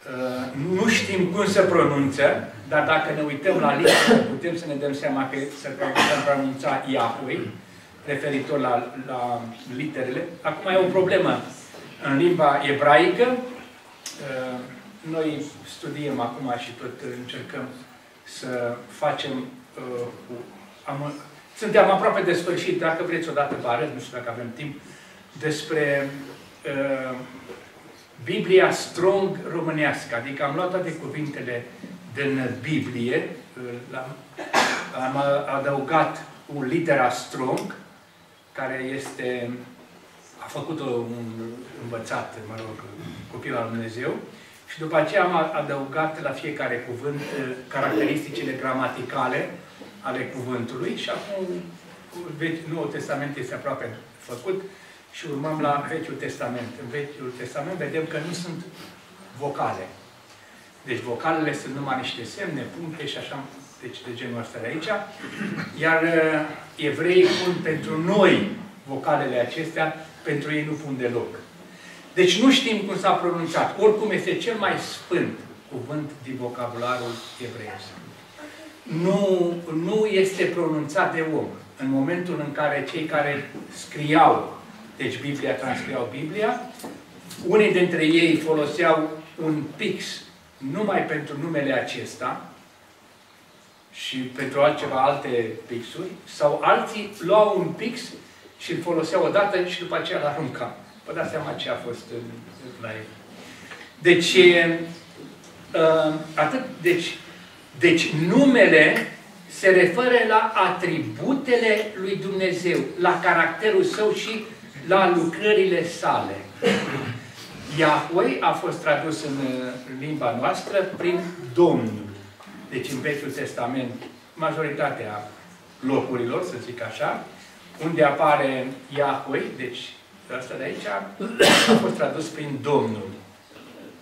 Cineva spunea, și am să-l citesc, o cunoaștere corectă a lui Dumnezeu Tatăl a fost primul lucru pe care Domnul Isus Hristos l-a descoperit și a învățat pe ucenicii săi. Acest subiect este un subiect pe care omenirea trebuie să-l cunoască mai mult decât orice alt subiect. Și noi, mai ales noi cei creștini, copiii Dumnezeu. În al doilea rând, vedem, de-am văzut școala, acum vedem elevii din școala Domnului Isus. Oameni pe care mi-ai dat. Deci acesta a fost un mare privilegiu pentru ucenici și pot să spun fără să găsesc că este un privilegiu și pentru noi, pentru că și noi, într-un fel altul, suntem în școala Domnului Isus Hristos. Dar ucenicii au mers mai aproape de Domnul Isus Hristos decât cine altcineva. Deci dacă doriți să învățați mult din punct de vedere spiritual, va trebui să aveți o bună părtășie cu Domnul Isus Hristos. Fără această părtășie cu Domnul Isus Hristos nu se poate face nimic. Problema cea mai mare este că nu toți creștinii experimentează sau se bucură de aceeași iluminare spirituală. Iluminarea spirituală este direct legată de modul în care suntem devotați Domnului Isus Hristos. Atunci suntem iluminați și avem nevoie de iluminarea Domnului Isus Hristos, Duhului Sfânt. Al doilea lucru pe care îl vedem, e vorba despre Scripturile pentru ucenici. Uh, o să folosim versetul 18, 14 și 17. În 8, mă scuzați, versetul 8, am greșit. Versetul 8 spune așa, căci le-am dat cuvintele pe care mi le-ai dat tu. Versetul 14, le-am dat cuvântul tău. Versetul 17, cuvântul tău este adevărul. Deci e vorba despre Scripturile. Deci Domnul Isus Hristos a prezentat ucenicilor cuvântul lui Dumnezeu. Și noi, unde ne aflăm, ca predicatori sau ca, mă rog, cei care vorbim sau în biserici sau trebuie să prezentăm cuvântul lui Dumnezeu. Să știți că toți cei care se ridică la ambol și nu prezintă cuvintele lui Dumnezeu își vor lua răsplata. Dar o răsplată care n-ar vrea să... Mai bine pedeapsa, da? Așa e. N-am zis pedeapsa, am zis răsplată, da? Plata, sigur. Deci, în primul rând, vedem privilegiul de a asculta Scripturile prezentate de Domnul Isus Hristos. Noi știm că a fost un privilegiu extraordinar ca ucenicii să asculte Cuvântul lui Dumnezeu. Cuvântul lui Dumnezeu este de neprețuit. Puțin creștini însă apreciază Scripturile. Mai mulți sunt mai interesați cu gunoiul de la televizor decât cu Scripturile. Sau alte lucruri de genul acesta. Da. În al doilea rând, vedem textul de educație și de instruire al ucenicilor. Textul pe care Domnul Isus Hristos l-a folosit în învățarea ucenicilor a fost Cuvântul lui Dumnezeu. Și noi trebuie să folosim Cuvântul lui Dumnezeu. Biserica trebuie să sublinieze învățarea și predicarea Scripturilor. Centrul cel mai important, lucrul cel mai important. În al treilea rând, vedem puritatea cuvântului lui Dumnezeu. Zice, cuvântul tău este adevărul. Adevărul absolut există în cuvântul lui Dumnezeu. Cuvântul lui Dumnezeu nu minte. Descoperirile arheologice continuă să confirme că profețiile din cuvântul lui Dumnezeu sunt adevărate. Dumnezeu le-a spus și ei de acum își dau seama că e adevărat, dar nu, nu recunosc. Problema cea mai mare este așa. Deci omul se poate încrede în cuvântul lui Dumnezeu mai mult decât în orice carte. Nu se schimbă. Cărțile s-au schimbat. A căzut comunismul, aveți alte cărți. Da? La noi se schimbă după câțiva ani. Și mai rău. Dar cuvântul lui Dumnezeu de atâția ani de zile este același. Și nu se schimbă niciodată. În al patrulea rând, vedem persecuția din cauza cuvântului Dumnezeu. Zice, le-am dat cuvântul tău și lumea i-a urât. I-a urât. Unul din motivele din care lumea îl urăște pe credincios este din cauza cuvântului lui Dumnezeu. Lumea disprețuiește Scripturile. Fraților, oricine îi spune, acceptă. Dacă îmi folosești cuvântul Domnului Iisus Hristos și crucele și nu pot. Dumnezeu, da, l-acceptă. Pentru că este Allah, care este un Dumnezeu, mai, are, mai au și hindușii și ăilalți budiștii câte un Dumnezeu, dar când, când folosește cuvântul Domnului Iisus Hristos, haideți să vă spun un lucru. Noi ne-am schimbat organizația, înainte era Romanian Mission and Charity, deci Societatea Română și de Caritate, și ne-am gândit noi să ne schimbăm numele.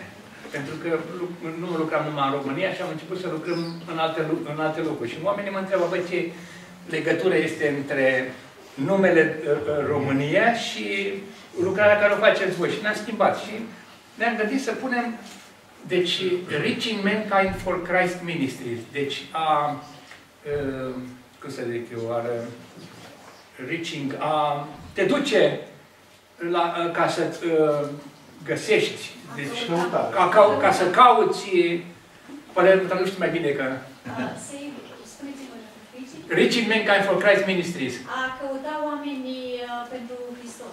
Da, de oameni, deci pentru Hristos. Și problema cea mai mare este a numelui acesta Hristos. Era mai, atrăgă, era mai atrăgător de român. Da. Nu ce se întâmplă. Înainte există acolo un uh, sistem, spre exemplu. Dacă lucrezi la o întreprindere și cineva de la întreprindere zice, domnule, donez pentru putare misiune, atunci îți mai da și întreprinderea ori 50%, ori 100%. Deci era la un dolar sau la un leu, 50 de, plus 50 de și dar în cauza că este numele Hristos, nu mai vrea să mai dea nimic. Dar aceasta este. Nu, nu acceptă, nu, nu, nu, nu vor pe Domnul Iisus Hristos, l-a scos. Da. Am când mi-am gândit, dar am scălăcit. Domnul Iisus Hristos este ăla. Dacă vrea face ceva, dacă nu, nimica. Da. Deci vedeți dumneavoastră că Domnul Iisus Hristos a fost scos din școli. Și la dumneavoastră aici, mai curând, și în alte locuri importante. În Sudan, acum în Sudanul de Sud, unde lucrăm, am, am, avem permisie de la guvern ca să avem în, în licee și în uh, școlile înainte de liceu, de cele Gimnaziu. Gimnaziu. Gimnaziu. Gimnaziu, așa. Să avem uh, uh, din astea cluburi biblice de învățarea Bibliei. Dar nu știm cât. Că uh, acum ăștia de la uh, UN, deci națiune, noi zicem unisens, da, care nu face niciun sens, începe ca să-i forțeze ca să nu ne mai lase. Da. Așa că nu știu ceva. Bagă, pro, bagă progresul și în uh, Sudan. Sigur. Săracii de ei care n-au nimic, nu sunt străzi, n-au străzi, n-au apă caldă, n-au apă curgătoare, n-au curent electric și uh, tot așa ceva. Vă dați seama, în loc să le ducă, să le facă curent electric și alte lucruri, le spune, băi, da, nu, nu mai aveți nimic de cu Dumnezeu. La noi le-a scos pe total. Deci nu poți să vorbești în școală despre Domnul Isus Hristos. Nu poți. Deci, trebuie să îmbrățișăm, să înălțăm Cuvântul lui Dumnezeu și în curând vă spun eu că vom fi persecutați. Fraților, eu m-am gândit la aspectul acesta. Dacă toți cei care suntem aici am trăit Cuvântul lui Dumnezeu, ăștia ne-au omorât. Pe Domnul Iisus Hristos l-a omorât după trei ani și jumătate. Pe noi ne-a omorât mai înainte. Dar nu trăim. Nu trăim. Aici e problema. Că nu trăim. Că vă spun eu, ne omoară imediat. Imediat. Găsesc ca la ăsta, la... Uh, cum a fost cu, cu, cu uh, Ahab. Martor mincinoși. Da, martor mincinoși. Imediat. Nabor. Na, Nabor, Copia Nabor. Oameni martori mincinoși. Imediat ar găsi cine știe că am făcut și cine știe ce nu știe. Dar, în al treilea lucru pe care îl vedem, este păzirea cuvântului de ucenici. Mergem la versetul 6, 7, 8 și 10. Ei au păzit cuvântul tău. Important, da? Au cunoscut că tot ce mi-ai dat tu vine de la tine. Ei l-au primit și au crezut că tu m-ai trimis. Și eu sunt proslăvit în ei. În ei. În ei. Important și aici termenul de în ei și prin ei. Așa. Vedem de că Domnul Iisus Hristos menționează în aceste versete cum s-au purtat ucenicii cu Cuvântul Lui Dumnezeu. Întreaba, întrebarea este cum ne purtăm noi cu Cuvântul Lui Dumnezeu. Îl păzim? O să vedem de ce înseamnă. Cunoaștem că vine de la Dumnezeu? Pe fraților, dacă am cunoaște, că vă spun de personal, dacă am cunoaște că vine de la Dumnezeu, am fi mult mai serioși față de Cuvântul Dumnezeu. Îmi place de multe ori și vă spun, stau de vorbă cu elevii, cu copiii ăștia mai. Și îi întreb, măi, voi iubiți pe Domnul Isus Hristos? Și zice, da! Zic, mă, voi citiți Biblia? Ce câteodată. Și zic, mă, ia, gândiți-vă voi la un lucru, și anume, dacă ați avea, deci, fetele niște prieteni, sau băieți, niște prieteni așa de buni, bun prieten tare, și iubiți așa de mult. Și v-ar scrie 66 de scrisori. Și voi nu le-ați citit. Arătați că îl iubiți?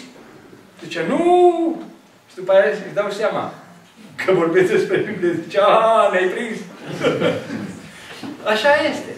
Așa, a, a, așa este. Vedem asta din acest text, vedem cel puțin cinci domenii ale felului în care ucenicii au folosit Cuvântul lui Dumnezeu. Și haideți să vedem și noi cum l-au folosit ei și să învățăm și noi, să folosim și noi în același lucru. În primul rând, ei au păzit cuvântul spus. Ei au păzit cuvântul tău. Cuvântul tradus prin păzit înseamnă a păstra, a avea ceva sub ochi, ca să împlinești o profeție. Deci, vă dumneavoastră, dumneavoastră, majoritatea ați fost în armată, am fost și eu. Și când erați într-un post, cum stăteați? Trebuia să fiți cu ochii în patru. Acolo să vedeți, vine cineva, nu vine să se întâmplă ceva. Ei, același uh, idee are cuvântul acesta a păzit. Deci să învățăm să păzim. Pentru mine asta, ascultarea este o chestiune foarte importantă. Știți care e cel mai mare păcat? Deci că e mândria. nu așa? Sigur, sigur. Noi zicem, mă, mândria. Da, într-adevăr, mândria este. Dar ce, care, a, care a fost, uh, bine, vorbesc că căderea lui Lucifer, într-adevăr, a fost mândria. Da. Dar care a fost căderea primului om? Neascultare. Cred că sunt înrudite. Rudite, da, da, da. da. Pentru că, pentru că un om mândru nu ascultă. Nu ascultă, așa este, da. Un om mândru zice, ce să ascult eu? De tine? Da, da. cineva? Nu ascult de nimeni, ascult doar de mine. Așa este, mai ales în ziua de astăzi. Așa este. Unii au citit doar Scripturile, dar acești ucenici au ascultat. Deci noi trebuie nu numai să citim Scripturile, dacă le citim, o fi bine să le și citim, că poate până la urmă ne deschide mintea într-un fel sau în altul. Da. În al doilea rând, vedem că ei au primit cuvântul spus, zice că le-aș da cuvintele pe care mi le-ai dat tu, ei le-au primit. Cuvântul primit spune că ucenicii au respectat cuvântul lui Dumnezeu și i-a acordat atenție. Deci foarte important. Să respecti și să-i acorzi atenție. Deci, întrebarea este, ce facem noi? Respectăm cuvântul Dumnezeu? Îi acordăm atenție? Deci cuvântul a primit înseamnă a primit dispoziții și a le îndeplini, a face ceva ca să fie al tău, a revendica, a face ceva parte a vieții tale. Și aceasta este foarte adânc. Deci, a primit dispoziții. Când citim Cuvântul Dumnezeu, primim dispoziții. Da? Al doilea zice să le împlinim. Deplinești dispoziții și le împlinești. Dar aici este și mai important. Ca să faci ceva care să fie al tău. Ca ceva care să fie al tău. Și a face ceva ca parte a vieții tale. Știți că există un verset, acum vine în cap, în uh, Evrei. Vorbește despre Cuvântul Dumnezeu și spune că n-a găsit credință la cei ce l-au auzit. Știți cum am putea să traducem uh, expresia aceasta? Nu a fost uh, uh, transformat ca să devină parte a lor. Ideea este aceea care, spre exemplu, noi știm că vacine mănâncă ziua și după aceea apoi rumegă noaptea. Și când rumegă noaptea, transformă deci ce a mâncat ca partea a lor. Deci devine partea a trupului lor. Aceeași idee este și aici. Și anume, în momentul în care noi citim Cuvântul Dumnezeu, rumegăm Cuvântul Dumnezeu, Cuvântul lui Dumnezeu vine parte a vieții noastre. Partea vieții noastre. La aceasta suntem chemați. Deci a face parte a vieții noastre. Și aici suntem chemați. Al treilea lucru pe care îl vedem, e spune că ei au crezut în Domnul Isus Hristos. Au crezut că Tu m-ai trimis. Deci ucenicii erau într-o minoritate. Dar era o minoritate foarte lăudabilă, deoarece ei credeau cuvântul lui Hristos, Domnul Isus Hristos. Cei după vremea aceea nu l-au crezut. Mari preoți, cu toți, cu toată suita care era acolo. Nu au crezut cuvântul Lui Dumnezeu. Aceștia l-au, l-au crezut. Și noi suntem o minoritate și trebuie să învățăm să respectăm cuvântul lui Dumnezeu. Credința în Domnul Isus Hristos determină destinul etern al omului. Determină. Vedeți, dumneavoastră, noi, prin credința în Domnul Isus Hristos, dacă mai avem timp, nu știu, uh, vom vedea partea aceasta a credinței și cum credința lucrează împreună cu ascultarea, lucrează împreună cu uh, cunoștința, la tot procesul acesta pe care îl avem noi de a înțelege Scripturile. În al patrulea rând, vedem că ucenicii au crescut în cunoașterea spirituală. Deci Cuvântul lui Dumnezeu ne face să creștem în cunoaștere spirituală. Versetele 7 și 8 spune așa, Acum au cunoscut că tu, ă, au cunoscut că tot ce mi-ai dat tu vine de la tine. Și au cunoscut cu adevărat că de la tine am ieșit. Foarte important. Deci au crescut în cunoaștere spirituală. Ei știau lucruri de care chiar și conducătorii religioși ai zilelor lor erau total ignoranți. Și acest lucru se datora faptului că ucenicii erau devotați Domnului Isus Hristos spre deosebire de conducătorii religioși care l-au disprețuit. Fraților, atitudinea noastră față de Cuvântul lui Dumnezeu poate să-l disprețuim sau poate să-l acceptăm. Deci, nu trebuie neapărat să zicem, o, oh, Cuvântul lui Dumnezeu sau să zicem ceva. Da? Deci atitudinea noastră. Și să știți că Dumnezeu se uită mai mult la atitudinea noastră decât la ce, ce, ce zice. Atitudinea noastră. Există foarte mult uh, care se numește limbajul Non-verbal. Non-verbal. Nu verbal, da. Non-verbal. Non-verbal. Limbajul trupului. Foarte mult. Foarte mult. Și eu, dacă mă uit la cineva și uh, dacă vorbim la telefon, nu-mi dau seama. Dacă de, de discuție. Dacă mă uit la cineva, îmi dau seama imediat. Dacă uh, acela acoperă ceva, nu acoperă ceva, sau spune adevărul, nu spune adevărul, imediat îți dai seama. Da. Și Dumnezeu se uită la noi și vede lucrul acesta. În al cincelea rând, vedem că ucenicii au proslăvit pe Domnul Isus Hristos. Zice, și eu sunt proslăvit în ei. Deci ucenicii l-au onorat pe Domnul Isus Hristos. Fraților, în momentul în care noi primim Cuvântul Lui Dumnezeu, când respectăm Cuvântul Lui Dumnezeu, când credem în Dumnezeu, în Domnul Isus Hristos, îl onorăm cu adevărat. Deci, vedeți dumneavoastră, ne dăm noi seama despre faptul acesta. Că suntem chemați ca să onorăm pe Domnul Isus Hristos prin cuvântul Lui, pe care l-am primit. Cei ce resping cuvântul, Dumnezeu, cuvântul nu îl ascultă și nu cred în Domnul Isus Hristos și nu îl onorează. Deci trebuie să fim foarte, foarte atenți. Să proslăvim pe Domnul Isus Hristos prin cuvântul Lui. Al patrulea lucru pe care îl vedem de aici este mișloace, mijlocire pentru ucenici. Și foarte important. Domnul Iisus Hristos mijlocește pentru noi, sau a mijlocit pentru ei și mijlocește. Unde este Domnul Iisus Hristos acum? În locurile celei la dreapta Tatălui. Ce face? Mijlocește pentru noi. Iar și acum. Dumneavoastră credeți că aici suntem singuri?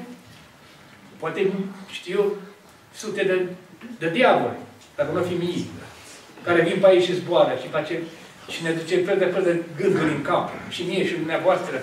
Și ne învață cine știe ce. Și ne aduce aminte că dacă am uitat ceva pe foc și am oprit gazele, sau dacă vaca, cine știe unde a intrat, sau cine... Nu așa? Da, sunt și îngerii lui Dumnezeu. Da. Cum? Sunt și îngerii lui Dumnezeu. Sunt și îngerii lui Dumnezeu, categoric. De sine ochii să vadă. Așa este, sigur. Deci vedem în jurul nostru și unele și altele. Domnul Iisus Hristos mijlocește pentru noi. De ce pentru ei mă rog? S-a rugat pentru el. De ce nu mă rog pentru lume? Lumea se duce. S-a rugat și pentru lume, dar acum nu. De ce? Ci pe aceea pe care mi-ai dat tu, pentru că sunt ai tăi. Suntem ai lui. Deci ce binecuvântare să se roage Domnul Isus Hristos pentru noi. Mare binecuvântare. Deci am spus că în altă parte Domnul Isus Hristos se roagă pentru cei necredincioși. Dar aici se roagă pentru cei credincioși. Cei răscumpărați au binecuvântări deosebite pe care cei nemântuiți nu le au. Ce binecuvântări avem noi când ne gândim la lucrul acesta? A cincelea lucru pe care îl vedem este siguranța pentru ucenici. Dacă este ceva care nu l-am înțeles, este siguranța aceasta. Haideți să vedem la versetele 11, 12 și 15. Și să vedem Atenție ce spune Cuvântul Lui Dumnezeu. Că cea mai mare problemă a noastră este când scoatem versetele din context. E mare lucru. Și uh, mai mult. Mare lucru rău. Mare lucru rău. Da. Dumneavoastră ați, uh, unii dintre dumneavoastră ați văzut cum se studiază Cuvântul Dumnezeu. Deci trebuie pus în context. Nu poți să-l scoți de acolo. Dacă l-ai scos de acolo, ai făcut. Toate religiile astea care sunt, și adventiste, și nu știu ce, și ce au făcut? Au scos din, din context.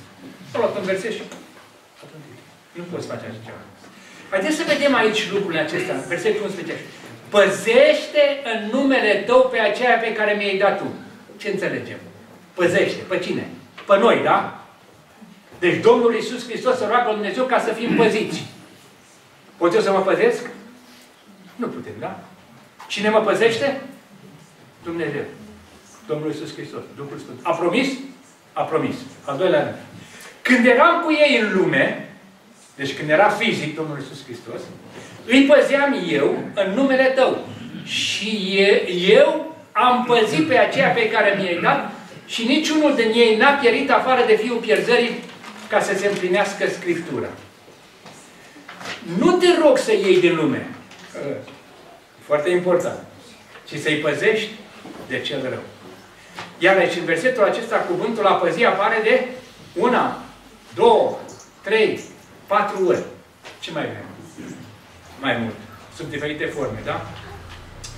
Toate aceste cuvinte vorbesc de faptul că Domnul Isus Hristos este Cel care ne păzește, Cel care păzește. Suntem în siguranță. Suntem în siguranță. Nimeni nu ne poate smulge de mâinile Dumnezeu.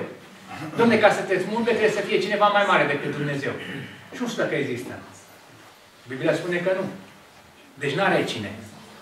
Deci în aceste versete vedem, în primul rând, în primul rând, vedem o protecție excelentă. Când eram cu ei în lume, îi, îi păzeam eu în numele Tău, eu am păzit pe aceea pe care mi-ai dat și niciunul din ei n-a cerit afară de fiul pierzării, ca să se împlinească Scriptura. Am să folosesc mai mult, adică lucrul acesta. Deci, vedeți, dumneavoastră, ucenicii au primit o protecție divină. Nimeni nu poate să protejeze și să păzească mai bine decât Domnul Isus Hristos. Și noi avem o protecție divină. Nimeni nu poate să ne smulgă de mâna lui Dumnezeu. Problema cu Iuda, pentru că aici e o problemă, nu înseamnă că Domnul Isus Hristos a ieșuat. Adică nu a fost în stare să-l protejeze. Ci Domnul Isus Hristos a prezis cu mult înainte că are să se, ce are să se întâmple cu Iuda, că Iuda o să-l trădeze. Trădeze. Trădeze, Deci vedem lucrul acesta. Iuda nu a, crescut, nu a crezut în Domnul Isus Hristos cu adevărat. Iuda nu, uh, nu a fost niciodată întors la Dumnezeu. N-a fost. Și nici atunci când avea ocazie să se pocăiască, n-a, n-a fost. Da. N-a, n-a Acum, eu vă spun o altă părere. Părerea mea este că Iuda, cum să spun eu, era drag. Deci, era drag. Nu e părerea mea, da. Da? Scrie. Tocmai de aia. Scrie. Păi asta e părerea mea. e de Biblie. Nu, că unii spun că zice că n-ar fi fost drac, ci că a fost, uh, cum se spunea, vin dracul peste el. El a fost. Așa e. Era om. Cum? N-a fost om.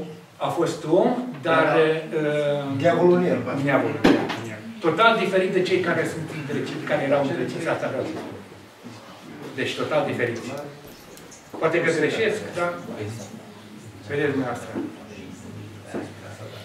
În al doilea rând, vedem o, o puritate excelentă. Să-i păzești de cel rău. Să fim puri.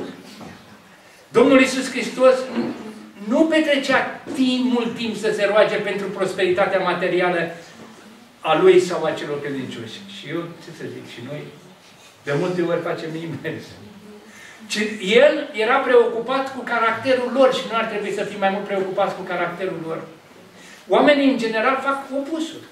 Suntem preocupați mai mult de lucrurile materiale. De câte ori ați văzut dumneavoastră să vină cineva la dumneavoastră să zică, măi, uite ce, vreau să crezi spiritual. Rugă-te pentru mine. Așa. E un lucru bun. Ne zice, bă, mă doare piciorul. Rugă-te pentru Nu zic că este ceva rău. Deci nu, nu, nu mă luați în nume de rău. Nu zic. E bine că și eu mă rog pentru alții și eu îi spun la alții să se roage și am și alții pe listă care sunt bolnavi. Și unii dintre noastre sunteți aici care sunt bolnavi și mă rog la dumneavoastră pentru Dumnezeu pentru dumneavoastră. Cum? Roagă-te ca să-mi adun fân. Da, sigur. Dar vedeți dumneavoastră, trebuie întâi ce să avem? Întâi pe Dumnezeu, pe Domnul Isus Hristos. Ce spune? Zice, căutați mai întâi ce? Împărăția Dumnezeu. Și după ce ne spune?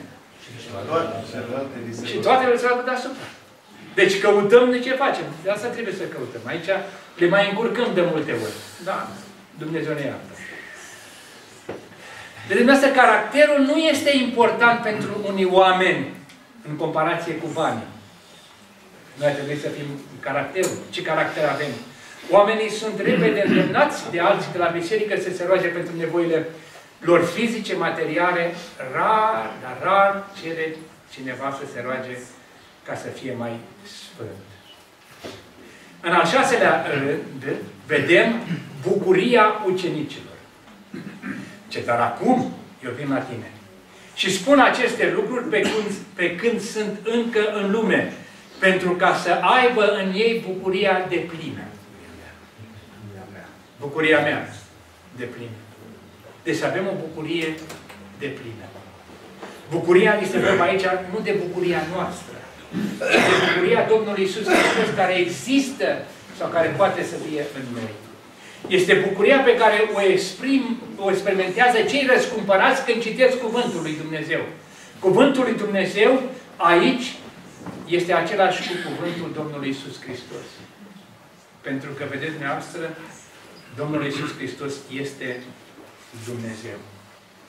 Lumea nu dă această bucurie, o, dacă au învățat toți cei care intră în adunare. Lumea nu dă bucurie. Bucuria lumii este temporară. Și după aceea plătești. Și plătești. Și vei plăti. Aici pe pământ, să facă Dumnezeu să nu plătească nimeni dincolo. Pentru că aici e cea mai mare problemă. O veșnicie întreagă să plătești. Bucuria de care vorbește Domnul Iisus Hristos este vorba despre o bucurie spirituală care depășește cu mult orice bucurie carnală pe care o putem simți. Mulți privesc Scripturile ca ceva care te plictisește. Dar Domnul Iisus Hristos spune că Scripturile aduc o bucurie. Mare bucurie, da. Mare, mare bucurie, mai mare decât orice. Al șaselea lucru pe care îl vedem este sfin... Al șaptelea, mă scuzați, da. Al șaptelea lucru pe care îl vedem este sfințirea ucenicilor. Vedem versetele 15, 17 și 19. Spune așa, nu te rog să iei din lume, ci să-i păzești de cel rău. Sfințește-i prin adevărul tău, cuvântul tău este adevărul. Eu însumi mă sfințesc pentru ei, ca și ei să fie sfințiți prin adevăr.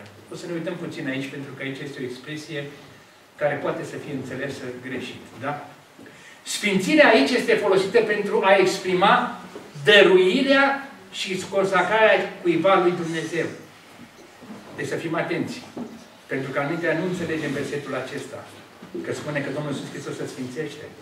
Avea nevoie Domnul Iisus Hristos să se sfințească? Pus deoparte pentru Dumnezeu. Deci pus deoparte pentru Dumnezeu. Deci consacrarea, dăruirea și consacrarea Domnului Iisus Hristos. Da. Deci versetul 19 a spus că merită explicație. Știm că mântuirea nu este posibilă fără moartea sacrificială a Fiului lui Dumnezeu. Deci versetul 19 spune că prin ceea ce va urma să îndure la cruce, face posibilă mântuirea atât a celor 11 cât și a celor care vor fi mântuiți în urma lucrărilor misionare. Deci aceasta este exprimarea corectă și înțelegerea corectă a acestui verset. Da? Pentru ucenici Domnul Iisus Hristos a sfințit, adică El a ascultat de Tatăl, de Tatăl, va face voia Tatălui prin moartea de pe cruce. Deși și lucrul acesta l-a făcut. Domnul Iisus Hristos a făcut ispășire pentru păcatele ucenicilor, a plătit plata, nu numai pentru, uh, uh, și numai după aceea ucenicii sunt sfințiți prin adevăr. Evrei, capitolul 10, versetul 10, spune așa. Prin această voie, adică Domnul Iisus Hristos, am fost sfințiți noi și anume prin jertfirea trupului lui Iisus Hristos odată pentru totdeauna. De aceea și Iisus, Evrei 3, așa, ca să sfințească norodul cu însuși sângele său, a te pătimit dincolo de poartă. Deci, fiindcă suntem socotiți neprihăniți prin credință, avem, ă, aici scrie să avem, să zic mai bine avem, pace cu Dumnezeu prin Domnul Isus Hristos. Dar Dumnezeu își arată dragostea față de noi prin faptul că pe când eram încă, că eram noi încă păcătoși, Hristos a murit pentru noi. Pe de altă parte, în Romani, zice, de altă parte știm că toate lucrurile lucrează împreună, lucrează împreună spre binele celor ce iubesc pe, pe Dumnezeu și anume spre binele celor ce sunt chemați după planul Său. Știți că noi ne oprim aici și niciodată nu legăm cu versetul 29. Trebuie neapărat să învățăm să legăm și cu versetul 29. Spune ce că pe aceea pe care i-a cunoscut mai dinainte, i-a și hotărât mai dinainte cum să fie asemenea, fiului, asemenea chipului Fiului Său. Deci suntem hotărâți, cei care suntem aici, ca să fim asemenea chipului Fiului Său. Aceasta este o altă uh, asigurare că Dumnezeu este Cel care are grijă de noi. Zice, pentru ca El să fie cel întâi născut dintre cei mai mulți frați. Aici, să știți că cel întâi născut, în greacă există două terminologii de născut. Una dintre ele este aceea în ordine cronologică și alta în ordine importanță, de importanță. Aici nu este vorba de ordine cronologică, ci este vorba de importanță.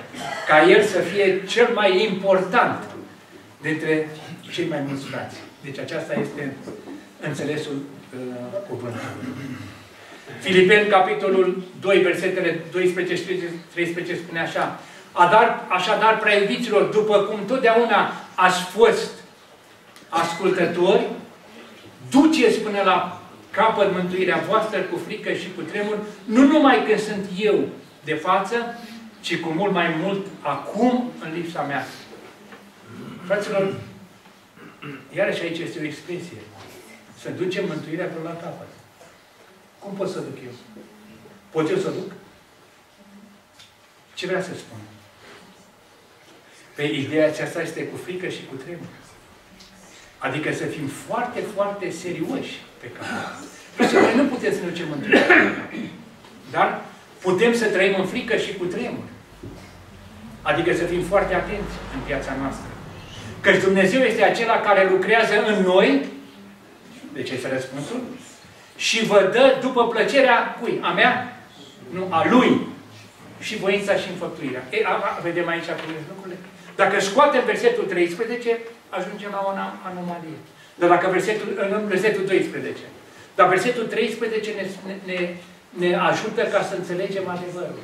Pentru că Dumnezeu este acela care lucrează în noi. El lucrează în noi.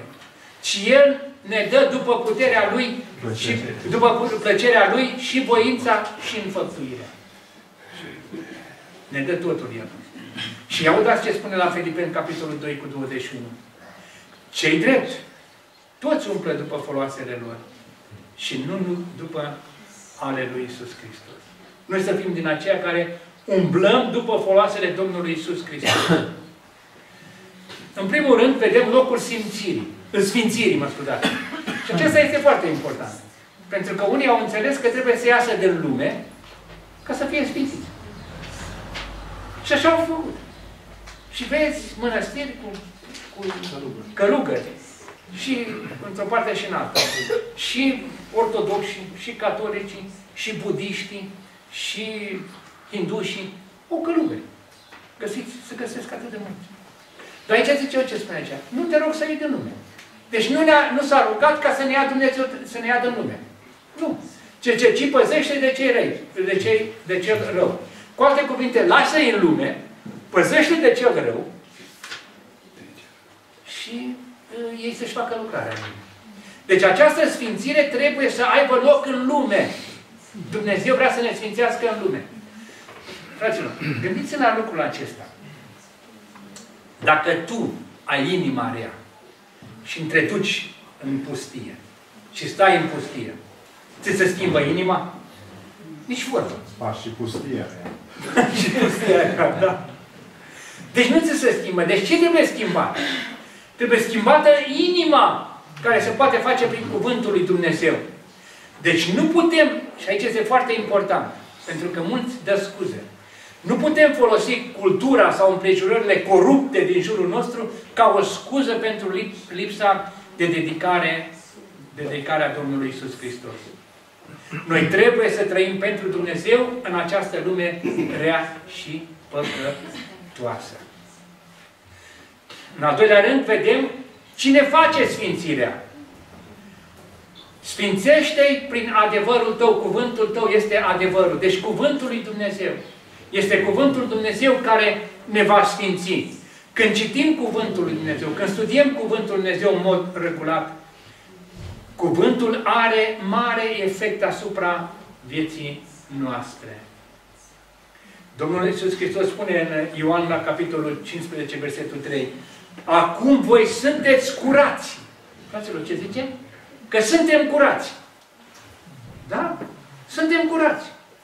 Păi mă uit la mine și mă văd curat. Dar Dumnezeu declară. Trebuie să ascult mai bine de Dumnezeu sau de, de ce văd eu? Sau de ce, de ce spune rău? Nu, trebuie să ascult de Dumnezeu. Acum sunteți curați din pricina cuvântului pe care vi l-am spus. Citim cuvântul lui Dumnezeu, studiem cuvântul lui Dumnezeu, suntem curați. Nu? Nu putem fi curați. Da? Psalmul 119, versetul 9, și noi spunem de multe ori, majoritatea dintre noi îl cunoaște până văzute. Cum își va ținea tânărul curată cărarea? Îndreptându-se după cuvântul tău. Ne dă și răspunsul. Deci, noi trebuie să cunoaștem cuvântul lui Dumnezeu ca să putem să ne îndreptăm. Că dacă nu-l cunoaștem, nu putem să ne îndreptăm. Mare lucru este, cel mai mare importanță are lucrul acesta de citirea cuvântului Dumnezeu. Am spus despre Sfințire. Și haideți să uităm puțin la aspectul acesta. Ce înseamnă Sfințire? Ce înseamnă Sfinții de la Biserica Ortodoxă, Catolică sau care sunt părinte, nici vorba. Sfinții înseamnă noi. Noi suntem Sfinții. Noi suntem Sfinți. Cuvântul Dumnezeu ne-a sfințit. Domnul Iisus Hristos ne-a sfințit. Dar am spus că sfințirea este un proces. Ce înseamnă? Înseamnă că te muți, adică aici e viața care am avut-o și aici e viața cu Dumnezeu. Asta este viață prăpădită, în păcat, mort și asta e viața sfântă cu Dumnezeu. Procesul acesta de sfințire este un proces în care te depărtezi tot mai mult de viața care ai trăit-o înainte. și te apropii tot mai mult de viața sfântă din Dumnezeu. Deci noi ar trebui ca astăzi să fim mai sfinți, adică să fim mai apropiați de Cuvântul Dumnezeu, de standardul Dumnezeu decât ieri. Cu alte cuvinte, ar trebui ca păcatul în viața noastră să fie uh, mai puțin astăzi decât ieri. Și așa mai departe. La aceasta suntem chemați. În al treilea rând, vedem modelul sfințirii. Și aici este o frumusețe. Deci și eu însumi mă sfințesc, l-am spus despre asta, ca ei să fie sfințiți prin adevăr. Deci este vorba despre modelul sfințirii noastre, este Domnul Isus Hristos. El inspiră, și ar trebui să ne inspire pe noi cei răscumpărați, la sfințire și la dedicare. Să reținem faptul că sfințirea unuia îi face pe ceilalți sfinți. Amin. În al optelea, al optelea lucru pe care le vedem este punerea de, part, de o parte a ucenicilor. Și noi suntem puși deoparte. Spune ce nu te rog să iei din lume, ci să-i păzești de cel rău. Eu nu sunt din lume după cum nici ei nu sunt din lume după cum nici eu nu sunt din lume. Versetele 15 și 16. Poporul lui Dumnezeu nu trebuie, trebuie să locuiască în lume, dar să, nu, să fie separat de lume. În primul rând, vedem înțelesul separării. Ei nu sunt din lume. Aceasta nu înseamnă că ar trebui să trăim în mănăstire, așa cum am spus, așa cum fac călugării sau puznicii. Aceasta înseamnă că, deși suntem în lume, lumea să nu trăiască în noi. Oh, ce mare lucru! Putem trăi în lume, dar să nu împărtășim Duhul lumii. Lumea are un Duh al ei. Și la aceasta suntem chemați. În al doilea rând, vedem batjocora separării. Separarea nu este populară în bisericile din ziua de astăzi. Separarea personală este considerată ca o atitudine de mândrie. Unii evangeliști spun că trebuie să, fi, să fim ca lumea ca să întoarcem lumea la Dumnezeu. Nu sunt de acord. Pentru că Cuvântul Dumnezeu nu ne, nu ne spune așa ceva. Trebuie să fim separați de lume în lume. În al treilea rând, vedem împuternicire pentru separare. Dumnezeu este Cel care ne împuternicește. Zice, să-i păzești de ce rău. Cine? Noi nu putem. Zice, să-i păzești. Deci cine să ne păzească? Dumnezeu. Acesta este mandatul, precum și rugăciunea Domnului Isus Hristos pentru separarea ucenicilor, separarea noastră. Principiul este repetat de Apostolul Pavel atunci când spune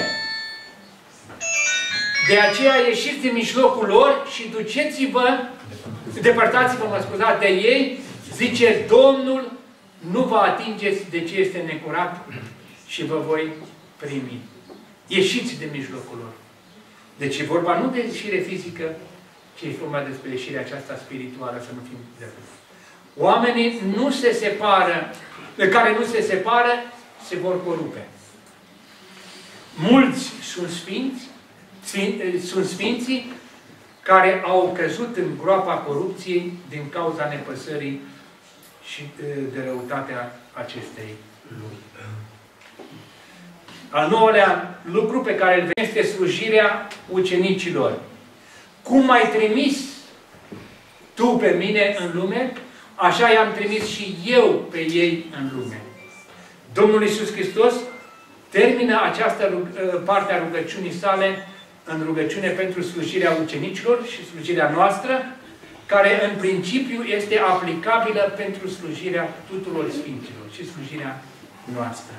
Suntem trimiși în lume și Dumnezeu vrea ca să, ne, să facem lucrarea. Așa. Mai departe, în versetul 18, vedem în primul rând modelul de slujire. Cum m-ai trimis pe, tu pe mine în lume, așa i-am trimis și eu pe ei în lume. Modelul nostru de slujire este Domnul Isus Hristos. Modelul de slujire implică cel puțin trei lucruri importante. În primul rând, suveranul. Cum m-a trimis, cum m-ai trimis pe mine. Dumnezeu l-a trimis pe Domnul Isus Hristos și Domnul Hristos i-a trimis pe ucenici. Deci El este suveranul, El trimite și El are grijă de noi. Aici se vede și multiplicarea. Serviciul nostru este o chemare divină. Suntem chemați de divinitate. El este suveran. Pentru El lucrăm. Nu lucrăm pentru lume. De aceea și când ne respinge lumea, nu ne respinge pe noi. De multe ori mai merg pe stradă și mai vorbesc cu lumea, mai dau tratate când am ce face. Și mulți mă resping. Te mai și jură, te mai știu eu ce fac. Dar la un moment dat mă supăra. Eram să mă supăra. Adică așa, tristat, nu știu ce. Și într-o zi vine uh, un altul care făcea tot la fel. Și mi-a găsit mintea. Zice, măi, zice, când Dumnezeu, când oamenii ne, ne resping, de ce nu, nu te respinge pe tine? De ce respinge pe acela pentru care lucrezi. Ce tu lucrezi pentru tine? Păi ce nu lucrezi. Atunci nu te respinge pe tine. Că mă respinge după Ori, ori nu acum, ori cine știe. E treaba lui. Dar eu fac datoria, știi? Deci serviciul nostru este o chemare divină. Suntem chemați de Dumnezeu să facem lucrul acesta. În al doilea rând se vede mesajul. Domnul Isus Hristos a trimis pe ucenici cu un mesaj și noi trebuie să avem același mesaj. Că le-am dat cuvintele pe care mi le-ai dat tu. Acesta este mesajul. Poporul lui Dumnezeu este trimis cu un mesaj. Dacă nu proclamăm mesajul, nu avem o misiune. Deci există o legătură între mesaj și misiune. Misiunea pe care o avem. Și la aceasta suntem chemați. În al treilea rând, se vede sacrificarea. Le-am dat cuvântul tău și lumea i-a urât. Pentru că ei nu sunt din lume, după cum eu nu sunt din lume. Domnul Iisus Hristos a fost trimis ca să-și sacrifice viața.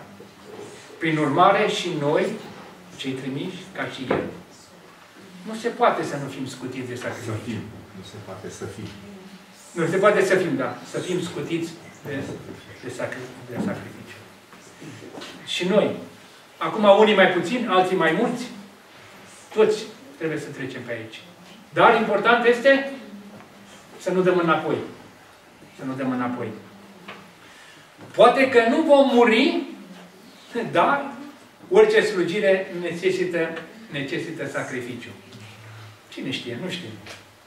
Ah. În al patrulea rând, se vede locul slujirii, slujbei în lume. Dumnezeu nu l-a trimis pe Domnul Isus Hristos într-un loc simplu și confortabil, ci într-un loc ostil. Ca să nu, și să nu fim surprinși dacă lucrarea aceasta va cere să aflăm, să ne aflăm într-un loc ostil. Și suntem într-un loc ostil acum. Da? care poate face dificilă slujirea noastră. Da? Haideți să mai începem puțin. Știu că sunteți obosiți și nu e nimica.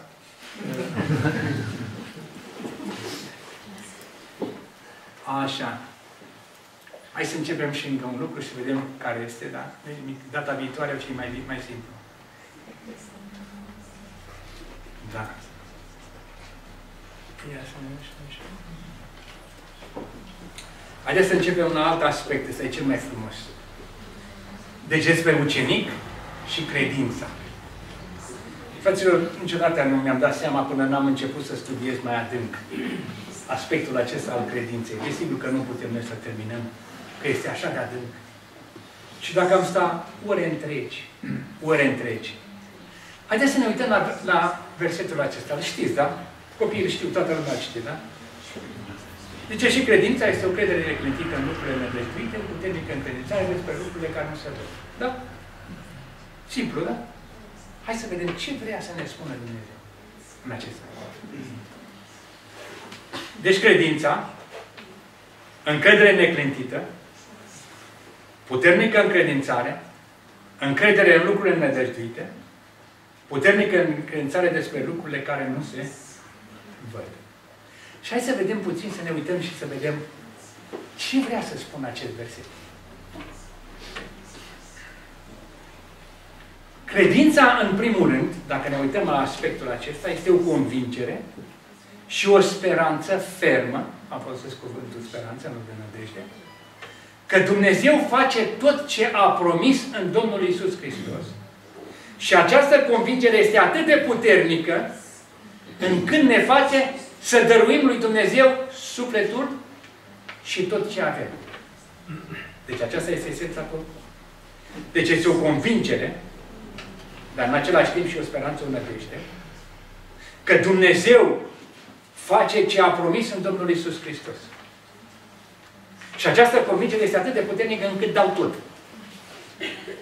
Deci mă dăruiesc tot. Noi vorbim foarte eh, simplu despre asta dau banii mei. Dar ia-ți-ne minte, cât din banii dumneavoastră, în primul rând, banii dumneavoastră nu sunt al dumneavoastră, nu sunt ai mei. Pământul care, care, care folosiți aici nu, nu este al dumneavoastră, este al Domnului.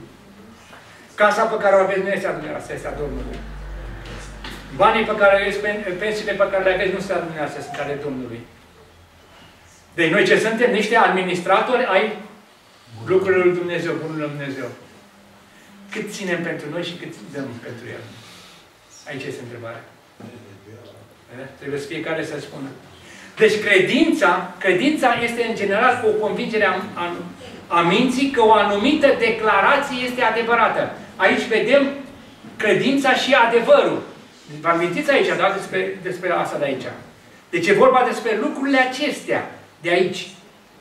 Partea aceasta de adevărată, de adevăr. Da? Ia uite ce spune la Filipeni, la capitolul 1, uh, versetul 27-28.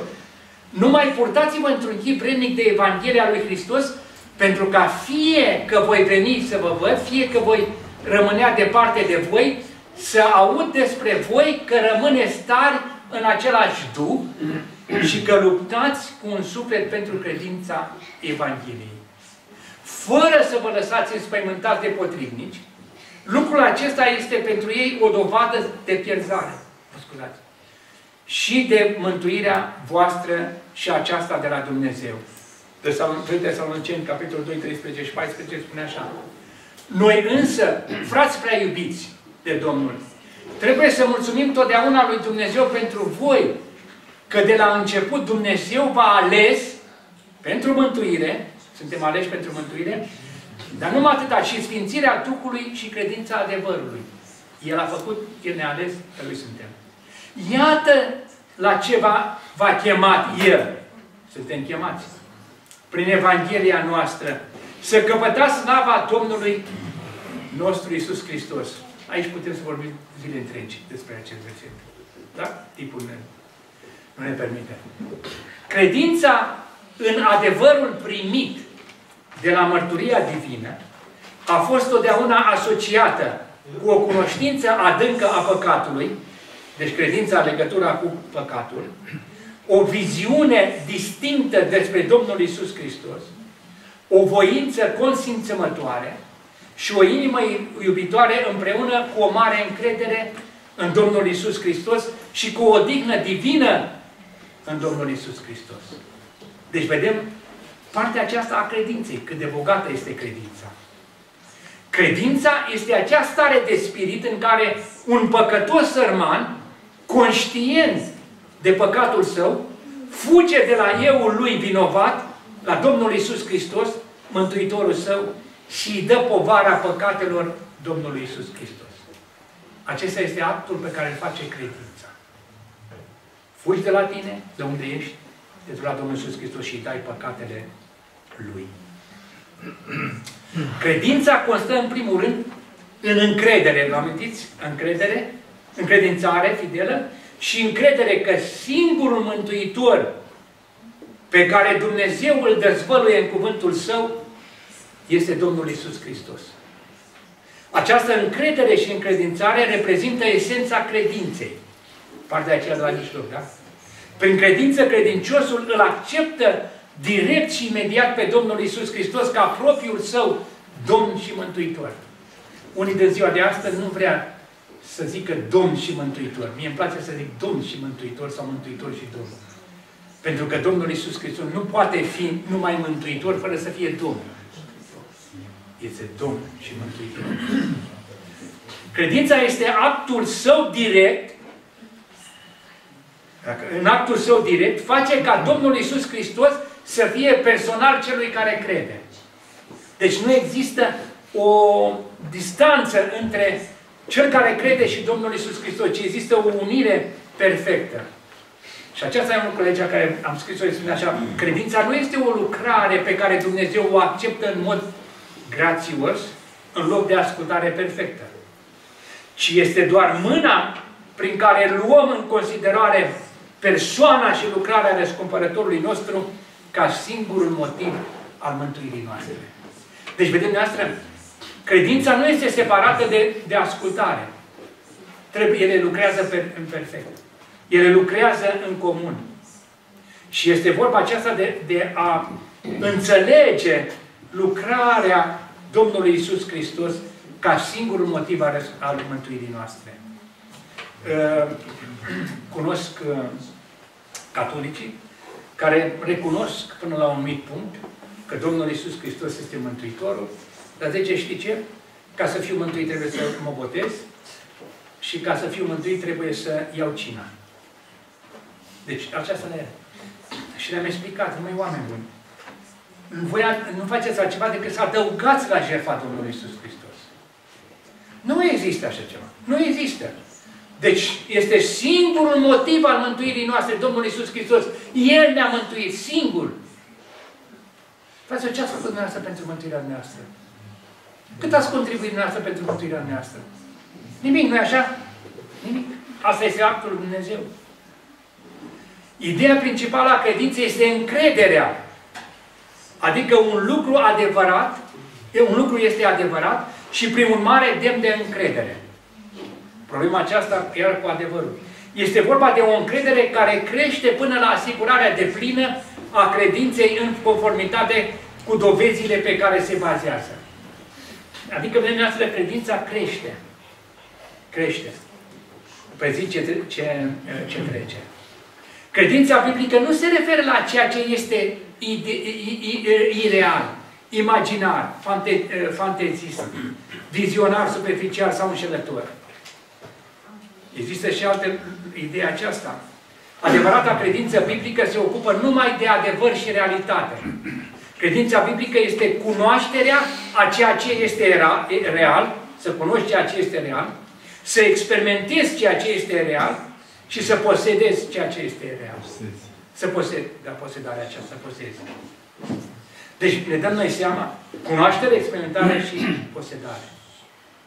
Aceasta este partea a credinței biblice. Da. Vedem, noastră, unii zic, domnule, crede și nu cerceta. Așa scrie în Biblie. Nici vorba. Biblia spune, cercetați toate lucrurile păsate acestea. Cercetați-o pe voi. Cercetați, uitați-vă o dată să vedeți de câte ori spune cercetați. Haideți să ne puțin la felul credinței. În primul rând este vorba despre credința comună. Da? Fiecare persoană trăiește prin credință. Când deschidem o cutie de mâncare, de conserve la mea, să știți, sau când bem un pahar de apă, avem încredere că nu este contaminată. Da? E adevărat?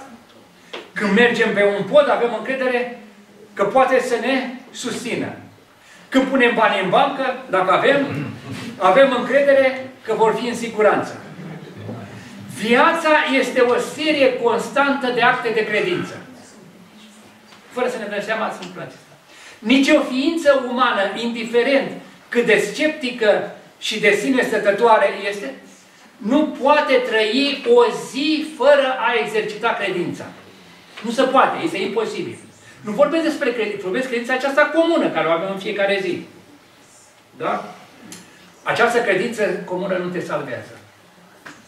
Singurul lucru pe care îl poate face o persoană ca să, care va avea parte de mântuire este de a exercita credința în ceea ce a făcut Domnul Isus Hristos pentru el. Adică în jertfa de pe cruce. În al doilea rând este vorba despre credința superficială sau temporară.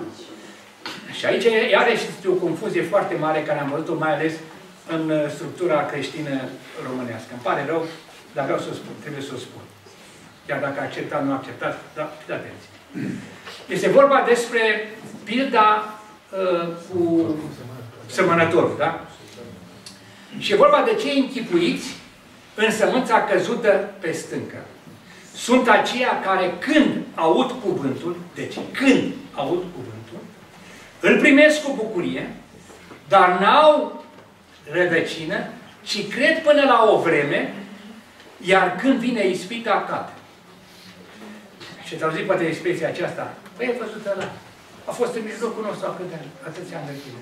Și acum nu mai este. Deci poți să pierzi tot ce ai. Dumnezeu îți dă mâine ți deci, lucruri de genul acesta. Hai să vedem ce vrea să spun aici. Pentru că a, aceasta este vorba despre o credință superficială. Deci credința temporală sau superficială este acea stare de spirit care este trezită în oameni prin prezentarea adevărului și prin influența simpatiei religioase sau prin ceea ce este uneori numită lucrarea comună a Duhului Sfânt. Deci care este diferența între lucrarea personală în care Duhul Sfânt vine și transformă. Solul pietros, fără adâncime, ilustrează pe cei care fac o profesie superficială, intelectuală de credință, dar nu e adevărată. Unii oameni nu resping adevărul când îl aud proclamat. Primesc inițial cuvântul cu bucurie. Bucuria lor temporală poate convinge pe mulți că convertirea lor este reală. Ei nu numai că sunt, că sunt interesați și receptivi, dar și încântați, dar nu pentru multime. Problema este că deoarece aceștia nu au o rădăcină fermă în cuvântul lui Dumnezeu, ei doar cred pentru o vreme. Deci aceasta nu este, aceasta este o credință temporară. Ei primesc cuvântul cu bucurie. Bucuria lor este uneori caracteristică pentru mântuirea reală, dar uneori pentru o mântuire falsă. Oamenii răspund adesea la Evanghelie de motive greșite. Și dumneavoastră poate știți. S-ar putea să fie experimentată o relație ruptă, sau un divorț, sau moartea unei persoane iubite, pierderea locului de muncă sau diagnostizarea cu o boală gravă. Nici lipsa de bucurie nu este un semn distinctiv al unei convertiri false. Deci trebuie să fim foarte atenți în bucuria aceasta și relația dintre ceea ce facem. Emoția nu este un indicator definitiv al realității spirituale. Nu este, greșit, ă, ă, nu este nimic greșit cu emoția în biserică. Dar când vine vorba de slujire lui Dumnezeu, trebuie să avem o disciplină în a rămâne în deciziile pentru, în deciziile pentru Domnul Isus Hristos și să rămânem credincioși, chiar dacă ne simțim, nu ne, simțim. nu ne simțim fericiți sau împrejurările noastre nu sunt așa cum dorim. Mântuirea este o lucrare a lui Dumnezeu o operație divină care poate sau nu poate produce o reacție emoțională imediată. Unii dintre uh, grupurile religioase trăiesc mai mult pe baza emoției. Adevărata credință mântuitoare va rezista testului timpului și încrederea, pacea, bucuria sunt lucrările făcute de Duhul Sfânt în inima celor răscumpărați. Credința credincioșilor adevărați nu este pierdută în încercări, ci este întărită de încercări. În al treilea rând, e vorba despre credința aceasta intelectuală. Și e vorba despre Iacov, capitolul 2, versetul 19. Tu crezi că Dumnezeu este unul. Și bine faci. Dar zice și dracii, cred și se înfioară. Crezi? Se înfioară. În Evanghelie, când Domnul Isus Hristos a confruntat cu demonii, cu demonii, ei l-au recunoscut imediat ca Fiul lui Dumnezeu și l-au mărturisit ca, care, ca atare. Știți dumneavoastră că diavolii știu totul și recunosc totul, da? Domnul i-a oprit imediat să mai vorbească. Credința lor nu i-a schimbat. Credința lor nu este genul de credință care salvează. Demonii au credință, adică ei cred în Dumnezeu. Ei cred că Dumnezeu există, dar nu este vorba despre credința mântuitoare, salvatoare, pentru că ea nu are roade care corespunde credinței adevărate. Nu poate să aibă. Demonii sunt oameni, sau oamenii nu sunt mântuiți prin acest tip de credință. Credința intelectuală. Intelectuală, da. Unii cred în Dumnezeu, dar credința în Dumnezeu nu este suficientă. Deci, fiți atenți, nu vreau să greșesc, să fiți mă înțelegeți greșit, da? Luați în considerare demonii sau, spirite, sau spiritele reale. Rele. Rele. Ei cred în Dumnezeu, ei chiar știu că Dumnezeu există, ei cred, chiar cred în divinitatea Domnului Iisus Hristos, dar nu, nu sunt mântuiți. Nu pot să fie mântuiți, da?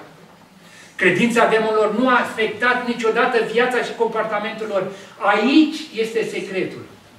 Credința adevărată trebuie să, să schimbe, să afecteze viața noastră. Dacă credința nu a afectat viața dumitare, după scaunul de biserică de uginiat. După uginiat, nu există. Deci trebuie să existe o transformare totală. Doamne, doamne, demonii au cel puțin acest lucru bun, că tremură la auzirea adevărului lui Dumnezeu și îi apucă o stare de frică. Pentru că ei știu că chinul veșnic îi așteaptă în iad. Dar oamenii de multe ori nu fac așa. În această privință, ei sunt mult mai realiști și mai sensibili decât oamenii care au o credință falsă, dar cred că vor scăpa de judecata lui Dumnezeu prin credința superficială sau intelectuală. Demonii tremură. Acest cuvânt pur și simplu înseamnă că au o anumită reverență și frică de Dumnezeu, dar acestea nu sunt suficiente pentru a asculta de El. Credința lor este doar o credință intelectuală, doar un consimțământ mental și nimic mai mult altceva. Și aceasta este problema în bisericile din ziua de astăzi. Demonii cu siguranță nu au fapte bune pentru a dovedi că credința lor este în inimile lor, ci doar în capetele lor. Dacă folosesc termenul acesta de capăta lor. Deși să înțelegem că nu e neapărat vorba despre capul acesta. În al patrulea rând e vorba despre credința moartă. Iacov, capitele și, și câteva, și după aia terminăm că timpul se trece. Iacov, capitolul 2, versetul 17 și 20 spune așa. Tot așa și credința, dacă nu are fapte, este moartă în ea însăși. Deci e vorba despre credință moartă. Dacă vrei să înțelegi, om nesocotit, că credința fără fapte este zadarnică, adică moartă, există o credință vie și o credință moartă. Credința moartă este credința care, du care nu duce la mântuire. Credința vie este, credin este o credință care duce la mântuire. Un om fructifer, un pom fructifer, fără fructe poate, este probabil un copac mort. Dar un om, un om, dacă un om uh, are o, măr o mărturisire de credință fără care nu sus este susținută de fapte, atunci creștinul acela este un creștin mort. Și adunările noastre sunt pline, pline de creștini morți. Da? Nu se găsește în el această credință care produce fapte bune. Nu există viață în ea. Viața adevărată, adevărata credință produce roade, fraților. Credința moartă nu este o credință mântuitoare. Este o credință falsă, artificială, care produce persoanei o securitate falsă și o încredere falsă în viața veșnică. Și vai cât de mult sunt. Este o credință intelectuală, dar nu o credință a inimii, a vieții dinăuntru. Această adevărata credință este o credință care acționează. Credința morală sau moartă este dezvăluită în viața omului care nu face ceva pentru Domnul Isus Hristos. Te uiți la aici Viața lor contrazice mărturisirea lor. Al cincelea este vorba despre credința aceasta salvatoare și să știți că cu asta încheiem. Ne oprim aici, nu mai avem timp. Mai avem multe, dar altă dată. Credința este necesară pentru mântuirea noastră. Marcu, capitolul 16, versetul 16, spune așa, nu pentru, că, nu pentru că există un merit în ea, ci pur și simplu pentru că credința înseamnă faptul că păcătosul ia locul pe care i l-a atribuit Dumnezeu, acceptând ce a făcut Dumnezeu pentru el. Aceasta este. Marcul, capitolul 16, 16 spune așa, Cine va crede și se va boteza va fi mântuit, dar cine nu va crede va fi osândit. Roman, capitolul 10, versete 9 până la 11, ce foarte frumos, spune așa, dacă mărturisești deci cu gura ta pe Iisus ca Domn și dacă crezi în inima ta că Dumnezeu l-a înviat din morți, vei fi mântuit. Căci prin credința din inimă se capătă neprihănirea. Și prin mărturisirea cu gura se ajunge la mântuire. După cum este scris, Script, după cum zice Scriptura, oricine crede în El nu va fi dat de rușine. Credința autentică, salva, salvatoare, este un atașament personal față de Domnul Isus Hristos. Cel mai bine gândit ca o combinație a două idei. Și asta poate să ne rămână tuturor în minte. E vorba despre dependența față de Domnul Isus Hristos și angajarea față de El. Nu se pot separa aceste lucruri. Credința salvatoare implică dependența personală de lucrarea sacrificială finală a Domnului Isus Hristos, ca singura bază a iertării, pentru iertarea păcatului și intrarea în cer. Dar credința mântuitoare este de asemenea și un angajament personal al vieții cuiva să-L urmeze pe Domnul Isus Hristos în ascultare de poruncile Lui. În 2 Timotei 1 cu 12 spune așa, din pricina aceasta sufăr aceste lucruri, dar nu mi-e rușine, că știu în cine am crezut și sunt încredințat că El are putere să păzească ce am încredințat până în ziua aceea. Credința salvatoare este un act moral, deoarece rezultă dintr-o voință reînnoită, iar voința reînnoită este necesară pentru a crede și a accepta ceva ca fiind adevărul Dumnezeu. Este vorba despre lucrarea de schimbare care o face Domnul Isus Hristos în mintea fiecăruia. 1 Corinteni 2 cu 14 spune așa, dar omul firesc nu primește lucrurile Duhului Dumnezeu, căci pentru el sunt o nebunie, nici nu le poate înțelege, pentru că trebuiesc judecate duhovnicește.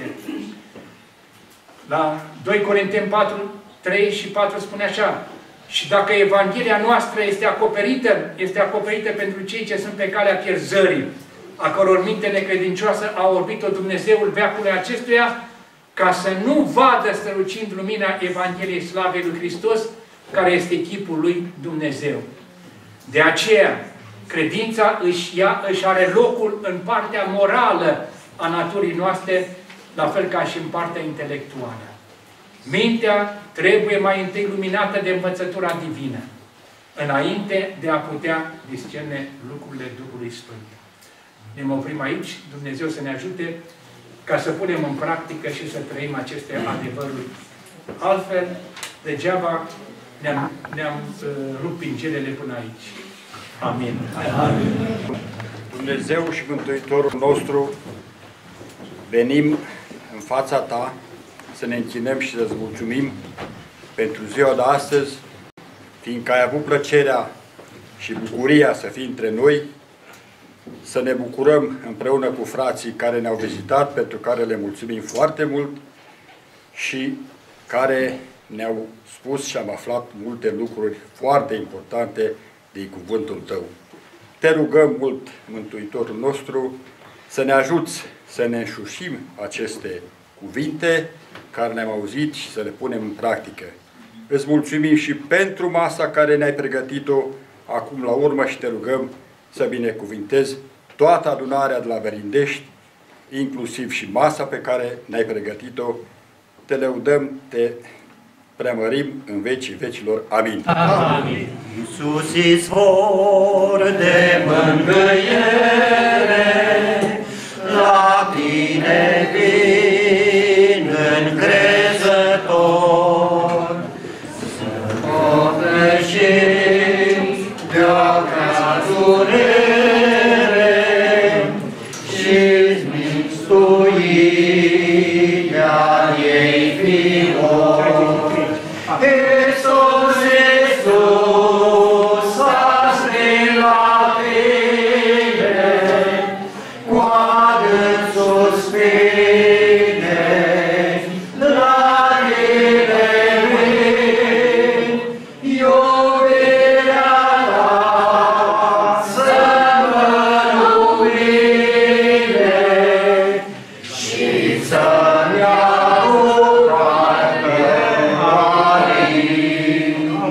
Iisus izvor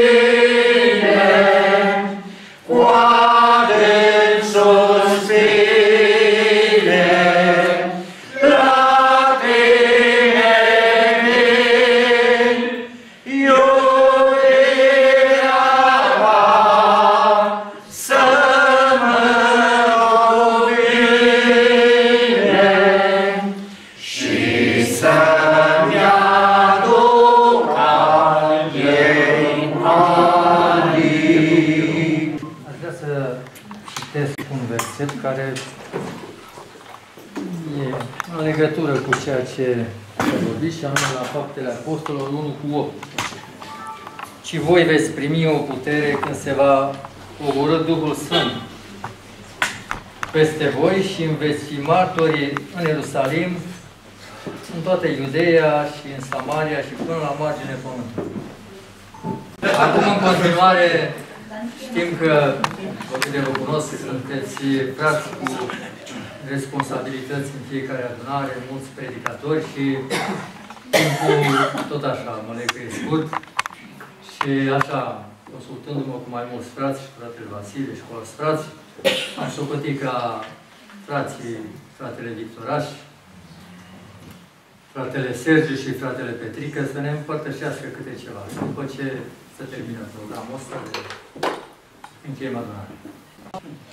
Iată ce plăcut și dulce e să locuiască frații pururea împreună să se veselească. Cu cântări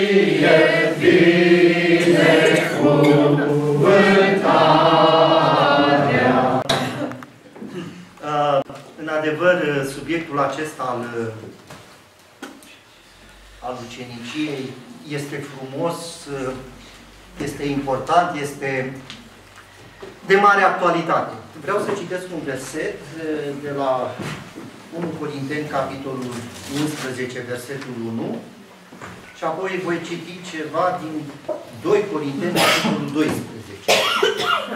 1 Corinteni, capitolul 11, călcați pe urmele mele, întrucât și eu calc pe, pe urmele lui Hristos. 1 Corinteni, capitolul 1, capitolul 11, versetul 1.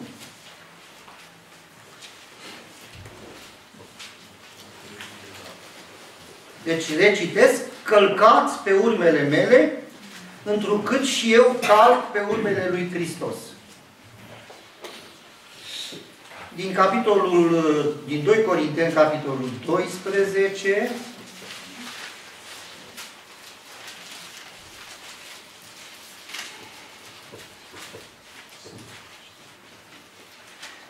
versetul 9 și 10.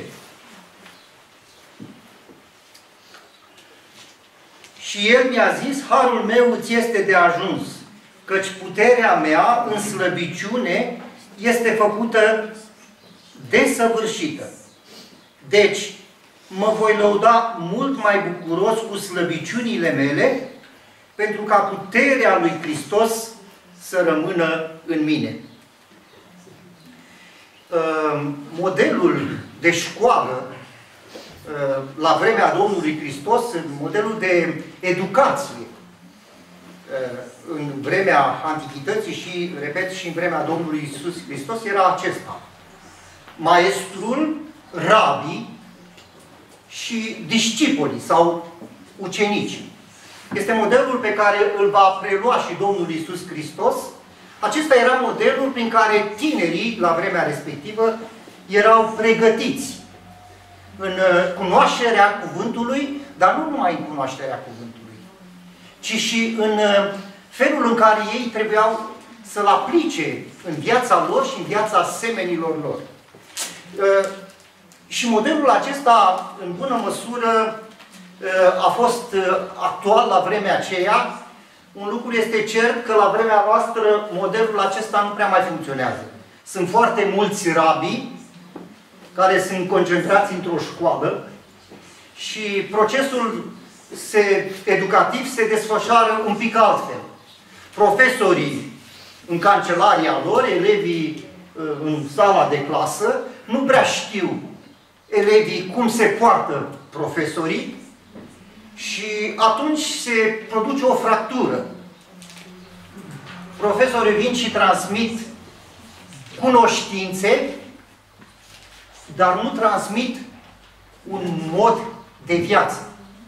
În momentul în care, pe vremea Domnului Isus, ucenicii mergeau cu rabinul, cu, cu, cu maestrul, ei, așa cum am văzut, vor, vor fi în permanență cu, cu învățătorul, cu rabii.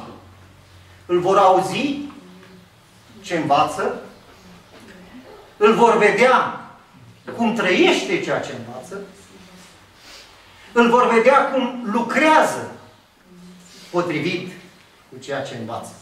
Și modelul de ucenicie are în vedere lucrul acesta. Nu transmiți doar cunoștințe. Și astăzi școlile teologice, din păcate, transmit doar cunoștințe. Modelul biblic pe care îl va prelua și Apostolul Pavel de la de la uh, uh, Domnul Isus va fi acesta. Și El va avea ucenici. Și vedem modelul acesta de ucenicie, felul în care Pavel îl ia pe unul ca Timotei, să-l vadă cum învață și va fi un moment în care Apostolul va spune ai fost aproape, ai văzut cum am trăit, cum am învățat. E așa de important să vezi uh, învățătura nu doar ca o transmitere de cunoștințe, de teorie, ci să vezi cunoștința cum, cum, cum trăiește în viața celui care o rostește. Aceasta a făcut Domnul Isus Hristos cu ucenicii. I-a luat cu El. Și ucenicii au văzut. Ucenicii au auzit Ucenicii au experimentat și vor fi momente în care Domnul Isus îi va lua, acum e rândul vostru, duceți-vă. Doi câte doi, ucenicii vor fi trimiși ca să vestească. L-au văzut pe Domnul cum lucrează și apoi vor trebui să lucreze și ei. L-au văzut pe Domnul cum trăiește și vor învăța și ei. Și vor avea parte, vor avea parte și de corecții în, în această școală, corecțiile nu sunt doar de natură doctrinară, sau dacă vreți. Așa cum se întâmplă în momentul în care un elev sau un student dă un examen. Te duci și înveți cursurile sau materia și dai o teză sau dai o lucrare de examen și observă profesorul în ce măsură ți-ai ți însușit cunoștințele teoretice.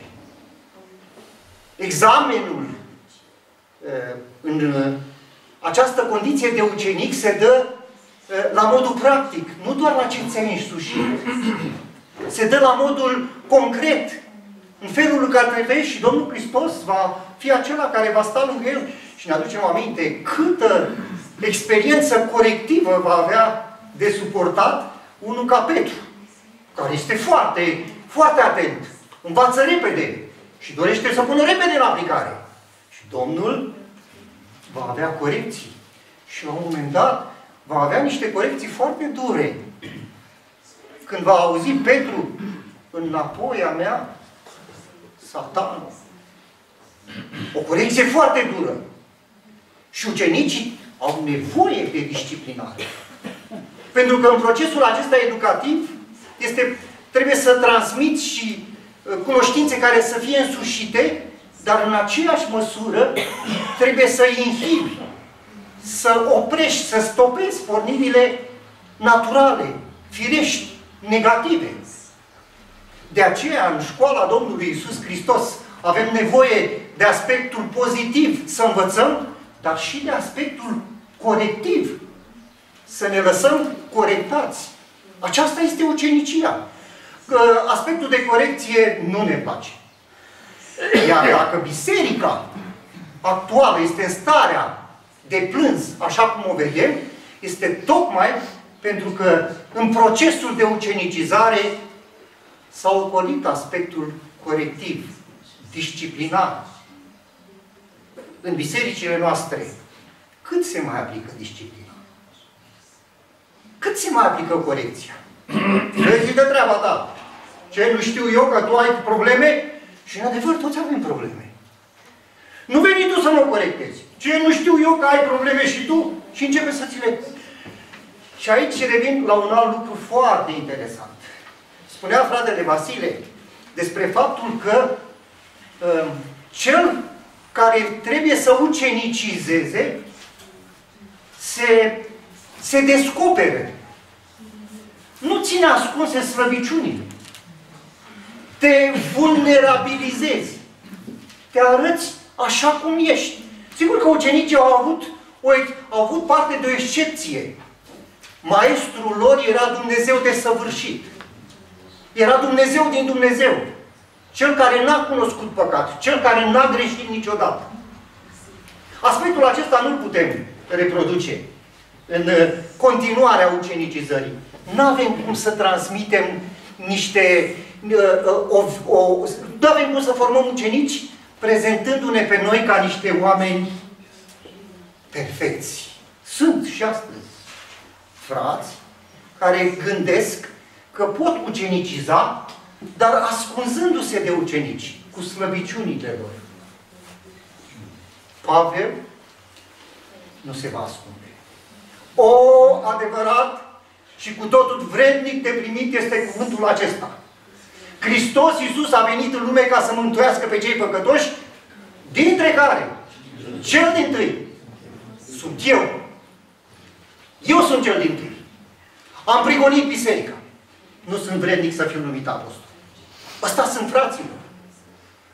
Și apoi o altă experiență de vulnerabilizare, pe care probabil mulți dintre noi am fi trecut-o foarte, cumva, foarte mare grijă în, în, în, în, într-o tainiță. Nimeni să nu știe de ea. Ce face Pavel? Are parte din partea lui, are de la Dumnezeu această extraordinară favoare. Domnul îl invită să facă o plimbare prin cer. Și este răpit până la al treilea cer. O, o favoare de excepție, unică. A fost singurul care a fost răpit până la al treilea cer și cu câteva versete înainte, Pavel povestește ce a însemnat experiența asta. Fraților zice, nu știu cum am fost. Am fost în trup, am fost fără trup, nu știu, Domnul știu. Dar știu un lucru. Zice, am fost acolo și am văzut lucruri care nu pot fi rostite. N-am cuvinte. Nu știu să vi le explic. Dar ce am văzut acolo, spune el în prima epistolă, lucruri pe care ochiul nu le-a văzut, urechea nu le-a auzit și la inima omului nu s-au suit. Și Pavel vine și spune aici, fraților, am fost acolo, dar nu vă pot spune nimic. Problema este alta. Când am coborât din cer, am coborât într-un țepuș, fraților. Pentru că lucrurile au venit la pachet. Pavele, ai făcut o vizită la mine. Dar tu ai o problemă, Pavele. Și ca să nu mă îngânf. Să nu mă îngânf? Ce face Dumnezeu? Dumnezeu la pachetul acesta unei, știți, sunt pachete de vacanță, călătorii foarte frumoase. Și când se întoarce, Pavel constată că aterizează unde? Într-un țepuș. L-o fi luat din văzduh, Nu știu de unde l-a luat. Dar, dar știți cum este? Zice, spune el mai în continuare, zice, un sol al cui? Al satanei. Un sol al satanei trimis de Dumnezeu ca ce să facă? Să mă mângâie pe crește? Nu. Să mă pălmuiască. De ce? Am o slăbiciune și eu, fraților, din Pavel să spună. Sunt și eu un pericol să mă îngânf. Când am văzut ce am văzut, sunt și eu un pericol să mă îngânf. Ce vulnerabilizare! Cum tu, Pavele, îndrăznești să spui așa ceva? Ha, ce-am fi făcut noi? Am fi spus, bă, fraților, am fost în cer și ce grozav a fost. Băi, dar noi ne uităm la tine și vedem că tu ai o problemă. E, asta, asta e o altă chestie cu problema în trup. Nu, nu, nu, problema este că am fost în cer. Pavel nu se sfiește să spună, da, fraților, am fost în cer, este extraordinar și când m-am întors de acolo, Darul lui Dumnezeu a continuat cu somnul satanei. Să mă pălmuiască, ca să mă păstreze smerit. Și în felul acesta, Pavel a fost un învățător, dacă este să privim la biserica primară, un învățător care a putut să ucenicizeze. Poate la modul cel mai eficient și care învață de asemenea despre ucenicie și despre ucenicizare să nu ne ferim fraților, să ne prezentăm așa cum suntem. Uh, chiar și oamenii din lume au ajuns la concluzia aceasta. Un lider, un conducător, dacă vrea să fie eficient în fața subalternilor, nu trebuie să neapărat să-și ascundă slăbiciunile.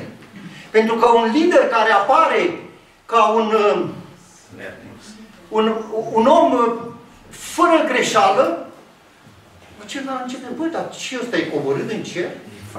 Infailibilitatea e, e o chestiune care, care strânește neîncredere. S-a rătăcit la Roma. Da. Sta... Și atunci, fraților, ăsta sunt. Am fost un prigonitor față de care Domnul a avut milă. Domnul a arătat har față de mine și după ce Domnul m-a născut din nou, am continuat să am probleme, fraților. Domnul mi-a făcut favori de excepție. N-a mai, n-a mai fost niciun om răpit în al treilea cer, așa cum a fost Pavel. Dar nu se sfiește. Am fost acolo, fraților, dar Dumnezeu în continuare are de lucrat la mine. Să faci ucenici nu presupune să te prezinți înaintea ucenicului ca un om infailibil. De ce? Pentru că atunci există un alt risc. Și noi știm ce înseamnă riscul acesta.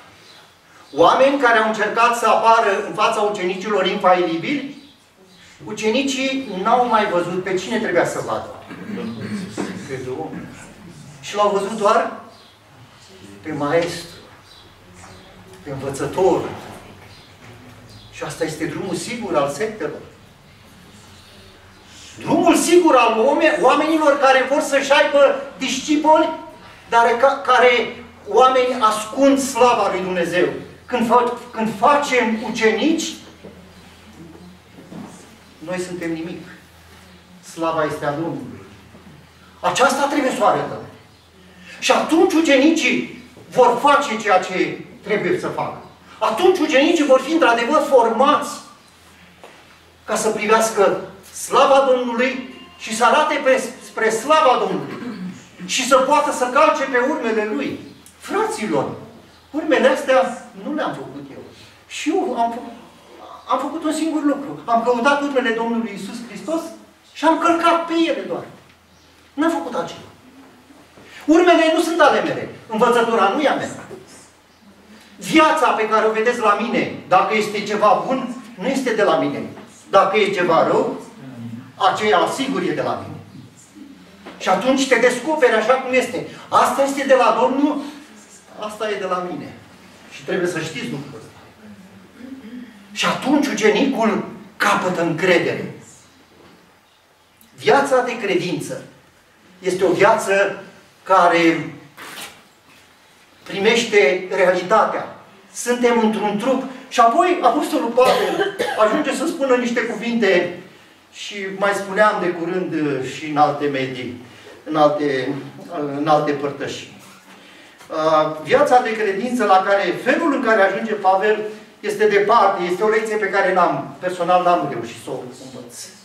Ia, ia auziți, de aceea simt plăcere în slăbiciuni, în defăimări. Vă mărturisesc că nu simt plăcere deloc în defăimări. și când încep să circule tot felul de zvonuri rele și neadevărate, simt că începe să fiarbă în mine. Nu de plăcere, de mânie. Cum? Cum are îndrăzneala asta să spun așa ceva despre mine? Dar e o minciună frustrată, o minciună gogonată. Cum să spun așa ceva? Pavel zice, simt plăcere de fermări. Te mai mângâi că ucenicii mai cresc. Da. Este o lecție la care ajunge Pavel. Dar cum, fac, cum învață lecția asta? Sub palmele solului celui jos. E foarte important să fii corectat. Sunt examene foarte grele. Și fiecare din noi mărturisim cam pe unde suntem. Unde a ajuns Pavel, nu știu dacă mai poate să fie, câți mai pot spune astăzi, simt plăcere în defăimări. Simt plăcere în nevoi, în prigoniri. Când avem câte o nevoie, departe de noi plăcerea, mai degrabă începem să spunem și la unul și la altul, știți că uite, sunt în situația, sunt... Și într-adevăr avem nevoie să ne rugăm unii pentru alții. Dar să simți plăcere în nevoi, în slăbiciuni, în strâmtorări, în prigoniri, pentru Hristos. Pentru Hristos. De ce? Pentru că, până la urmă, ne ajutăm unii pe alții în ucenicie, dar până la urmă toți suntem ucenicii Domnului Isus Hristos. Domnul să ne ajute la aceasta. Amin. Amin. Recunosc că am și eu o mare slăbiciune, mă duc cu ea de când mă știu.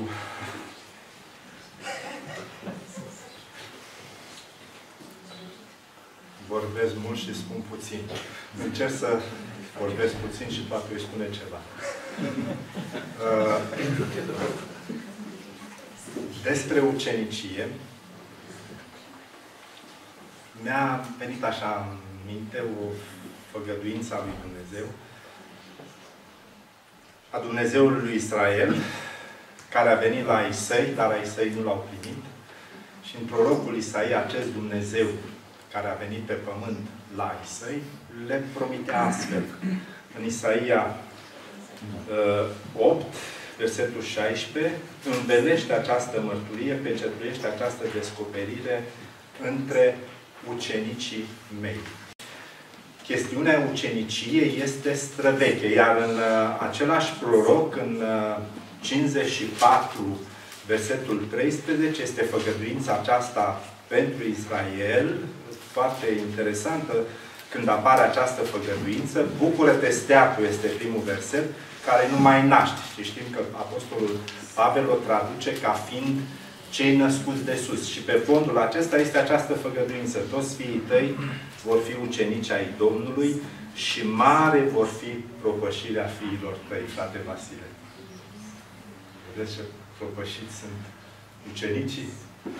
Da, dar așa cum se spunea, nu în cele materiale. Deci o propășire pe care, desigur, primii care o experimentează sunt acești 11 bărbați evrei, unul aratat, așa cum mi s-a amintit.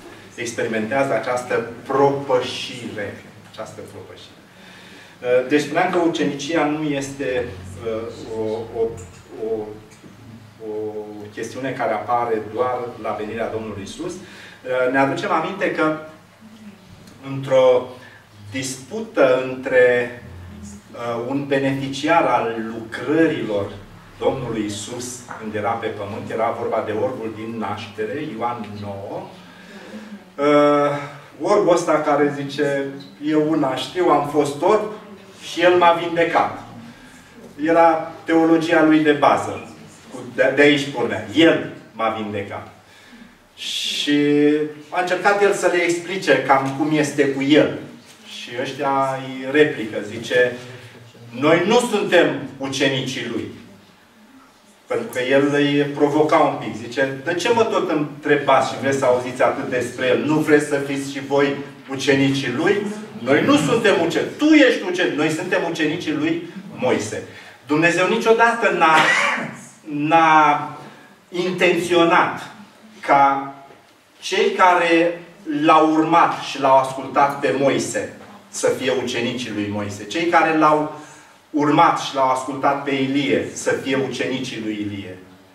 Și prin slujba unuia sau a altuia, Dumnezeu totdeauna a căutat să atragă pe orice om la sine. Și veți fi învățați de Dumnezeu, este făgăduința. Toți oamenii vor fi atrași și vor fi învățați de Dumnezeu. Uh, pentru că, și aici vrea să spun un lucru. Ucenicia are două direcții. Uh, vreau să încep un pic cu altceva, dar uh, uitasem. Și vă rog să uh, vă amintiți că suntem în Biserica Domnului Iisus Hristos până la răpire, că de asta se ocupă Dumnezeu, exclusiv în perioada aceasta. Deci tot ce înseamnă mântuirea Împărăția Lui Dumnezeu vizează, vizează formarea Bisericii. Uh, și suntem pe isprăvite. Biserica are uh, câteva metafore. Uh, deci este, este văzută ca trup, credincioșii sunt mădulare. Este văzută ca turmă, credincioșii sunt văzuți ca mielușei, oițe, oi. Este privită ca templu, credincioșii sunt priviți ca pietre vii. Este privită ca mireas, uh, Domnul Hristos este mirele, biserica este mireasă. Astea sunt metafore, însă realitatea care este întotdeauna în biserică și asta nu este o metaforă, este mulțimea ucenicilor. Deci biserica este formată din și probabil că aici vrea să ne învețe fratele Vasile la început, când ne-a speriat, că în cer nu vor intra decât cei care sunt ca Domnul Isus Hristos.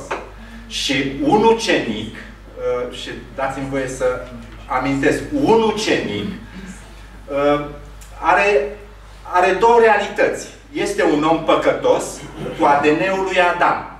Și el nu poate să asculte.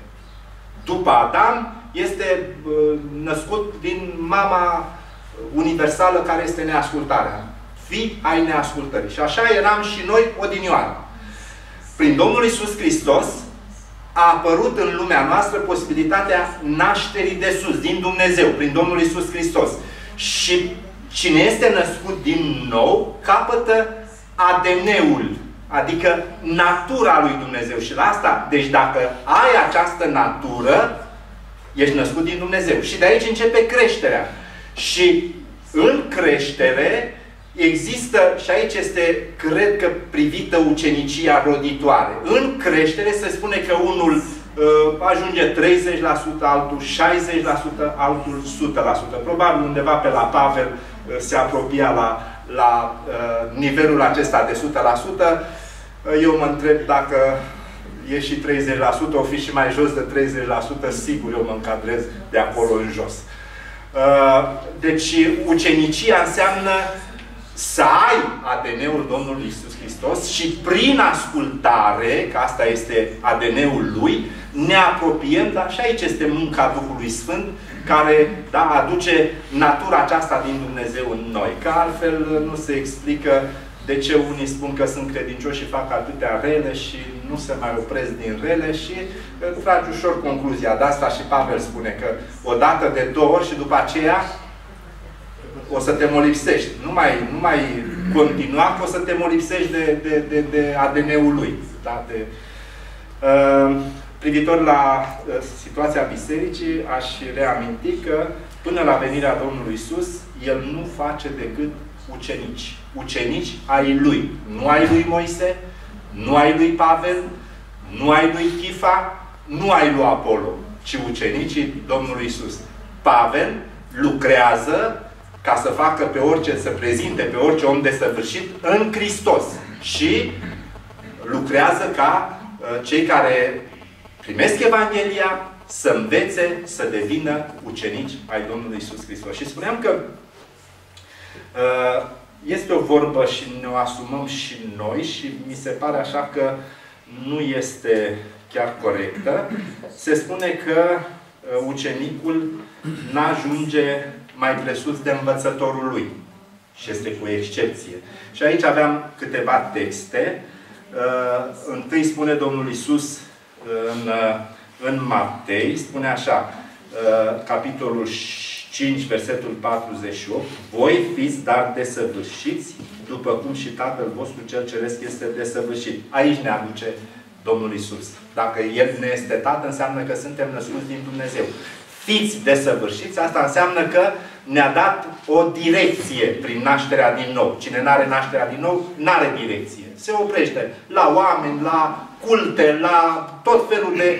Dar cine are nașterea din nou, direcția este spre Tatăl cel desăvârșit. Și apoi vine Domnul Isus și spune în uh, versetul 24 din Matei, capitolul 10, când îi trimite pe ucenici în lucrările acelea uh, poate extraordinare, uh, versetul 24 din 10, ucenicul nu este mai presus de învățătorul său, nici robul mai presus de Domnul său. Ajunge ucenicului să fie ca învățătorul lui și robului să fie ca Domnului. Bineînțeles că aici Domnul Iisus Hristos cred că se include în această situație, în relația cu ucenicii lui. Pentru că dacă este să privim un pic în vechime, ne aducem aminte că Elisei este ucenicul lui Ilie. Și când pleacă Ilie de pe pământ, înainte de despărțire, zice, ce vrei?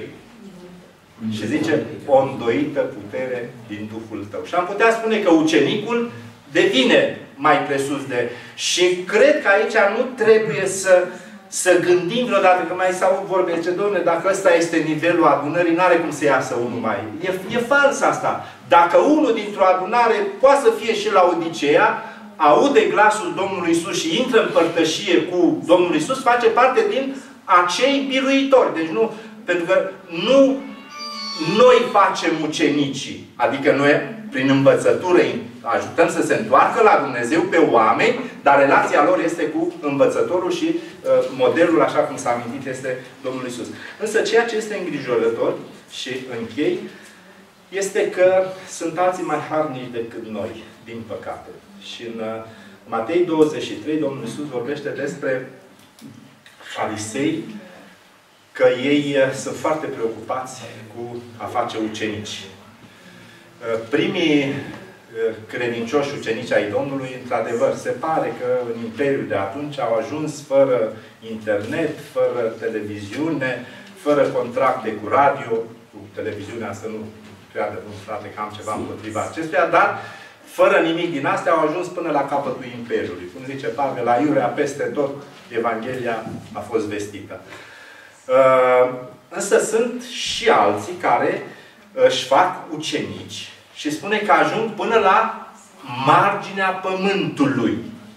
Și dacă spuneam că Elisei poate fi mai bun decât Ilie, Dar ucenicii pe care îi fac oamenii credincioși nu sunt ucenicii mei, nu sunt ucenicii lui Petru, nu sunt ucenicii lui Pavel, ci ucenicii Domnului Isus, ajunge să fie ca Domnul lor, ca învățătorul lor. Fariseii aceștia care sunt foarte harnici și îi găsim și în epoca apostolilor, că mergeau pe unde mergea Pavel, uneori chiar și înaintea lor, alteori sau deseori după apostol pe unde vesteau Evanghelia, și spune că vă duceți până la marginile pământului mai rău voi. Ca să faceți tovarăși, sau putea spune ucenici, de credință, credința voastră mai răi decât voi. De aceea să avem aceste două direcții. Și întrebarea rămâne aceasta. Pe care direcție ne aflăm? Domnul să facă ca și această părtășie să ne facă conștienți că suntem ucenici ai Domnului, da? prin lucrarea nașterii din nou, El nu naște decât ucenici, oameni cu natură din Dumnezeu, natura lui Dumnezeu pe care o pune Duhul Sfânt. Duhul Sfânt însuși locuiește în inimile noastre prin credință, este pecetea și aici învățăm și este procesul acesta de ascultare de Domnul și învățătorul nostru. Și să sporim în această ascultare, ajutând și pe alții prin evangelizare, prin ucenicizare, dar având direcția aceasta spre Domnul. Pentru că doar așa nu vom fi prinși de Duhul care l-a prins pe Saul. Știți cum se numește Duhul acesta? Că aici suntem predicatori, lucrători în adunări și să nu cumva să-mi ia cineva înainte. Cum se numește? De înălțime. Da, înălțimi care trebuie dărâmate. Se numește invidie, pismă. Și cine este conștient că nu ne facem adepți, ci doar suntem niște robi netrebnici și facem ceea ce trebuie, adică să-i aducem prin Evanghelie, prin slujire în Cuvântul lui Dumnezeu, în exemplul pe care să-l dăm, în vulnerabilitatea pe care să o manifestăm, fără să credem vreodată că, de pildă, vă amintesc, Saul se pare că în vreo două rânduri doar a recunoscut că e nebun și că a greșit, că n-a avut încotro la, la terminat David, așa, prin mărturia lui. Dar David, în aproape în toți salmii, își arată vulnerabilitatea lui. Adică cât de greșit, cât de la îndemână era greșeala în viața lui. Deci suntem oameni dar oamenii în care locuiește Dumnezeu și dorința noastră este ca să-i ajutăm și pe alții să intre în legătură cu Cel care ne desăvârșește până la venirea Domnului Iisus. Amin. Amin. Iar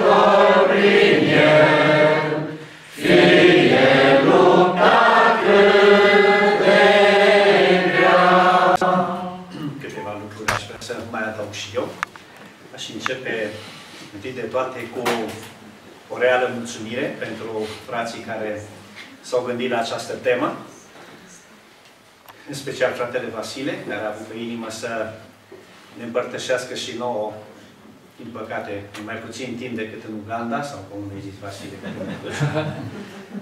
dar este o temă uh, extrem, extrem de uh, folositoare. Poate că unii dintre dumneavoastră ați participat anul trecut la conferința pentru tinere din Carol Davila, care a avut exact aceeași temă. Cinicie în școala Domnului Isus.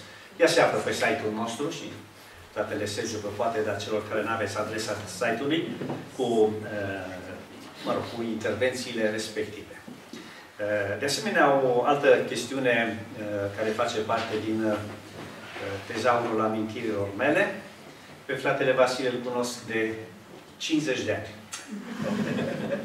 Cam de puțin, da. Cam de puțin. A fost împreună elevi la Liceul Economic în 1967 din Pitești și Vasile era la clasa C, eu eram la B, iar la D era o altă fată de credincios, Nușa Petreanu. Și, mă rog, toți aveam uh, solia noastră, după ce ne-am întors la Dumnezeu, pentru că ne-am întors la Dumnezeu în liceu. Și Dumnezeu ne-a ajutat, sperăm să fi fost așa o uh, oarecare mărturie printre uh, elevi și printre profesorii noștri. Și un alt lucru care iarăși uh, îmi face plăcere să vi-l împărtășesc, cred că eram în anul 3 de facultate, am făcut împreună SEUR, la facultăți diferite, și pentru că locuiam uh, în apropiere la mine uh, din, din agronomie, într-o zi, într-o duminică, Vasile, după ce am venit de la adunare, zice, hai să-i facem o vizită domnului Emil, Domnul Emil Constantinescu era un fel, iertați-mi expresia, un fel de patriarh, așa, al frățietății în vremea de atunci, o personalitate, unul dintre înaintașii uh, mișcării noastre, un om remarcabil, uh, rămâneam de fiecare dată adânc impresionat de predicile dumnealui și eu am rămas puțin blocată, adică mergem noi, niște amărâți de studenți, la domnul Emil, domnule, omul ăsta are alte probleme, alte, pasive, fără nicio, hai, vă sun eu. și ne-a sunat și cred că a vorbit cu doamna Constantinescu, o remarcabilă soție a domnului uh, Emil și, deci da, veniți, soțul meu vă așteaptă cu drag. Și am fost cu fratele Vasile, primiți în casa acestui venerabil credincios, care locuia chiar în clădirea din Carol Davila. Și multă bucurie am putut să stăm, am stat un ceas sau două de vorbă, n-a părut deloc, presat de timp, să ne zorească cu alte cuvinte să terminăm vizita și a fost pentru mine o, un, așa, un prilej de a cunoaște de aproape un, un om credincios. Acum, privitor la uh, tema aceasta a uceniciei și a ucenicului și uh, a învățătorului, și pe mine mă marchează profund uh, exemplul acesta care este descris pe larg în Cuvântul lui Dumnezeu, uh, exemplul lui Pavel și al ucenicului uh, Timotei. Voi citi câteva versete, dar cred că ne aducem poate aminte în uh, Faptele Apostolilor, capitolul 16, se spune la începutul capitolului că Pavel va ajunge pentru a doua oară în uh, două dintre cetățile unde vestise Evanghelia, în Listra și în Derbe, și acolo a uh, remarcat pe un adolescent, un tânăr, un tineret, Timotei. Și ochiul lui de slujitor al lui Dumnezeu, format așa în Duhul Scripturii, Ehm, îl va înștiința foarte probabil prin Duhul lui Dumnezeu că poate fi un, un om sau un tânăr pe care să-l ia cu el. Și cuvântul ne spune că era acolo un ucenic. Deja Timotei era, ca să spun așa, în clasa întâia a uceniciei. Între frații din Listra sau Derbe, din zona aceea, eh, unde, fără îndoială, eh, învăța din cuvântul lui Dumnezeu. Uh, Pavel uh, se interesează de el, uh, deși are, este un om care are un profund discernământ prin Duhul lui Dumnezeu, îmi place atât de mult faptul acesta că Pavel a fost întotdeauna un om de echipă. Chiar dacă era cel mai proeminent din echipa lui, Era un om de echipă. Era un om care se consulta cu frații. Era un om care se consulta cu colaboratorii. Le asculta părerile. Îl interesa ceea ce gândesc oamenii aceștia și e foarte probabil că uh, uneori uh, mergeau împreună după sfaturile pe care uh, le uh, dădeau membrii echipei lui. Un om de echipă. De echipă. Cum spune noi, un lider, dar un om de echipă. Și uh, Apostolul Pavel se interesează la creștinii, probabil, mai maturi de acolo. Nu erau nici ei prea vechi. Și întreabă, domnule, ce cu tânărul acesta? Pare un om așa, deosebit, probabil că era foarte atent la cuvânt. Uh, uh, probabil că, uh, cu expresia unui credincios, strălucea smerenia în el, ceea ce sunt cazuri rare astăzi. Și uh, cuvântul ne spune un lucru important. Frații l-au vorbit de bine. Că noi suntem sătui de vorbit de rău. Împărtășești ce spune fratele Sergiu, că nici eu nu mă simt grozav când sunt vorbit de rău, dar Domnul așa să ne dea har. Uh, frații îl vorbeau de bine și cu alte cuvinte, uh, cred așa că i-au spus, frate Pavel, dacă vrei să iei cu tine un ucenic care să-ți fie de ajutor în timp, dar pe care să-l și formezi, apoi, iată, tânărul acesta, adolescentul acesta, este omul potrivit. Frații l-au recomandat și Pavel îl va lua pe Timotei, se spune că din pricina, sau pentru a nu fi prilej de potignire, îl va tăia împrejur, pentru că tatăl lui era grec. Și vreau să vedem în câteva uh, cuvinte uh, aspecte foarte practice, foarte concrete ale relației dintre învățător și ucenic, sau dacă vrem, dintre ucenic și învățător. Uh, și de aceea mă voi folosi de binecunoscutele epistole ale Apostolului Pavel către Timotei. De exemplu, la a doua Timotei, capitolul 1, aș vrea să citez de la versetul 3, a doua Timotei, capitolul 1, începând cu versetul 3, Mulțumesc lui Dumnezeu căruia îi slujesc un cuget curat din moși strămoși, că neîntrerupt te pomenesc în rugăciunile mele zi și noapte, căci mi-aduc aminte de lacrimile tale și doresc să te văd ca să mă umplu de bucurie. Îmi aduc aminte de credința ta neprefăcută, care s-a sănășuit întâi în bunica ta Lois și în mama ta Eunice și sunt încredințat că și în tine. Uh, avem aici o bogăție de detalii care subliniază, cred eu, faptul că atunci când uh, ai o, uh, cum să spun, când crești un ucenic, când uh, adopți un ucenic, când îl iei în echipa ta de uh, ucenicizare, e bine, pe ucenicul acesta nu se poate să nu îl cunoști bine.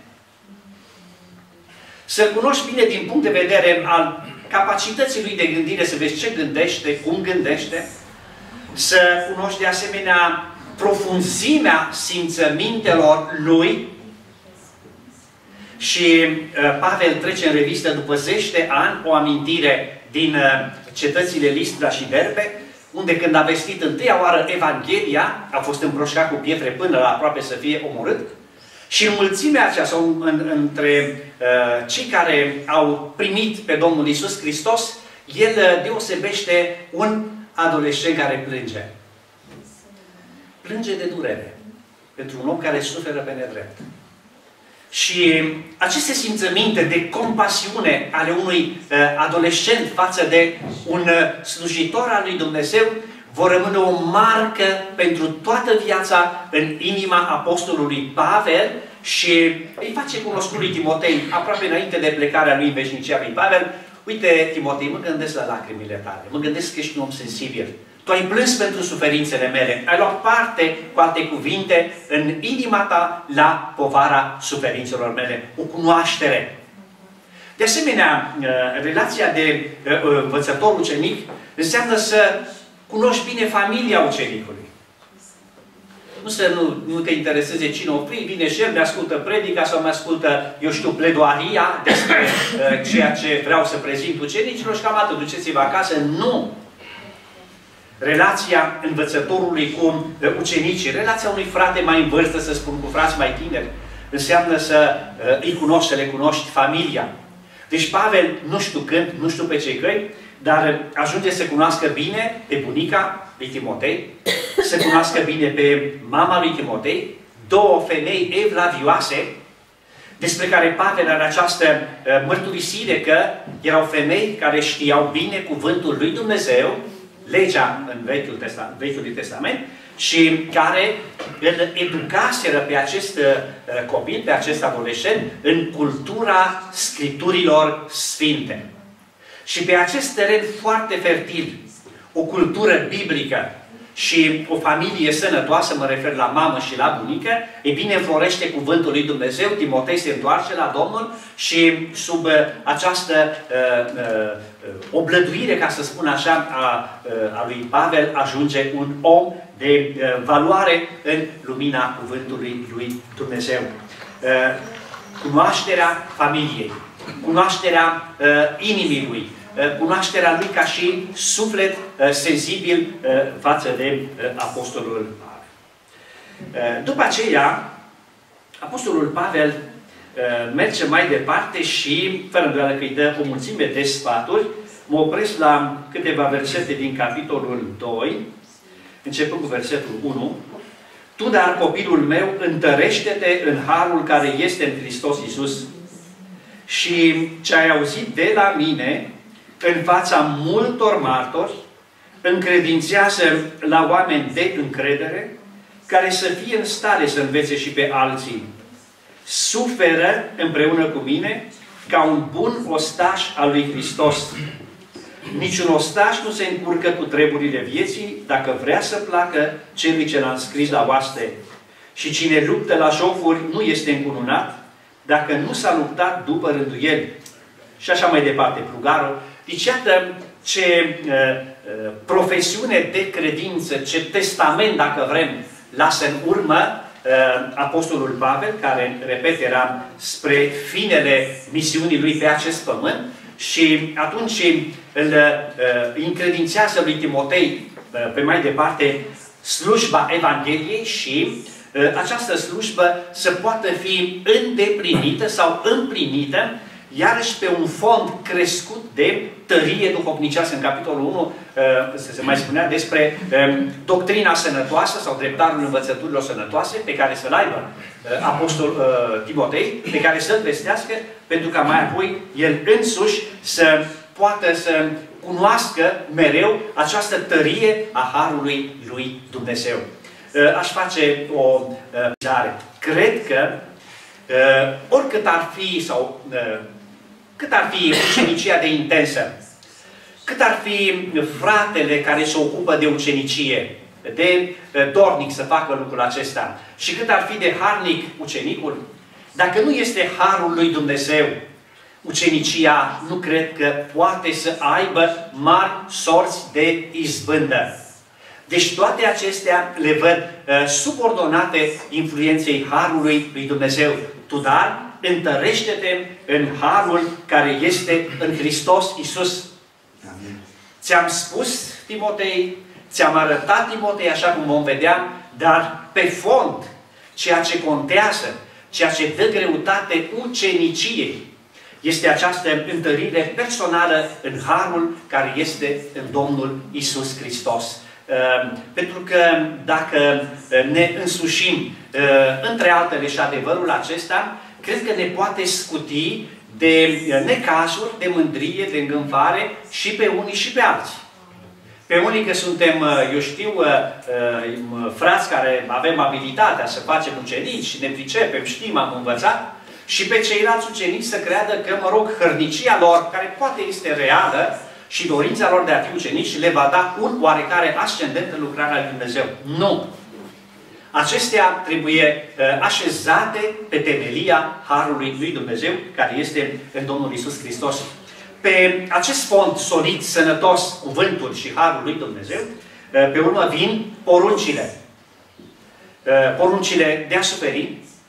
Ucenicia nu este o acumulare de cunoștințe, Ucenicia nu este, eu știu, un certificat uh, sau o diplomă cu care să mergi să te angajezi nu știu unde, Cum era la școală de ucenici pe vremuri, da? Pe vremea mea și al fratelui Vasile, nu ăștia mai în vârstă, era o școală de ucenici și ieșeau meseriași buni. Acum ies toți cu diplome, dar nu știu să strângă un șurub sau nu știu să schimbe o siguranță electrică sau, mă rog, nu mai intru în detalii.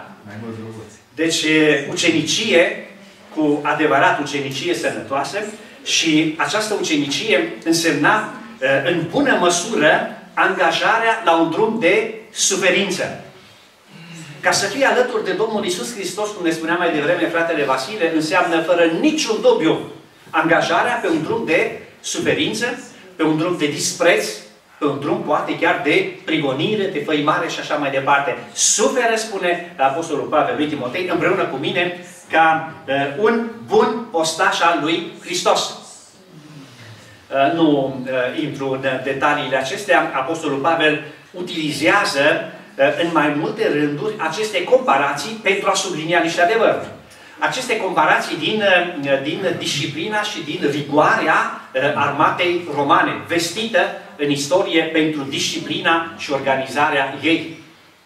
Și când se uh, angaja sau când era recrutat un soldat, indiferent de naționalitate, când era recrutat pentru armata romană și apoi era instruit și format, uh, citeam la istorie sau eram învățați la istorie că în armata romană uh, uh, soldații, ofițerii slujeau până la vârsta de 60 de ani. Nu ca acum, făceam, mi-am făcut, nu știu, am făcut 4 luni, Vasile nu știu, 6 luni. 6 luni, uh, alții făceau 9 luni, alții una și 4 luni. E bine, puteai să intri la 20 de ani și ieșai la vatră la 60 de ani și abia atunci soldații sau ofițerii romani puteau să aibă familia lor, pământ și așa mai departe. Abia atunci începeau și ei viața civilă, când le mai rămânea din ea. Deci vă imaginați câtă disciplină, 40 de ani de, de, de viață ca zonă, cu toate vicisitudinile, cu toate greutățile, că nu era viață simplă. Aveai de-a face, ca armată romană, aveai de-a face cu războaie, cu, mă rog, tot soiul de chestii de astea. Și Apostolul Pavel preia, repet, doar cu titlu de exemplu, preia lucrul acesta ca să vadă dacă oamenii în structurile de autoritate ale vremii pot să depună atâta efort și să-și însușească atâta disciplină și ascultare, cu cât mai mult niște ucenici, niște credincioși ar trebui să înțeleagă că drumul de ucenicie, drumul de slujire înseamnă suferință ca un bun ostaș. Că erau și ostași dezertori îi se părea că e greu, nu știu ce, nu era dus cu demisia, atunci trebuia să pleci. Dacă te prindeau romanii în altă parte, era moartea clară. Dar dezertat, da? Deci era și abandon. Ei bine, un bun ostaș însemna cel care, într-adevăr, se încadra în rigoarea militară. Uh, un alt uh, detaliu pe care aș vrea să îl subliniez, pe lângă faptul că, uh, așa, Apostolul Pavel îi foarte multe îndemnuri, este și versetul 15 din același capitol 2, care spune așa.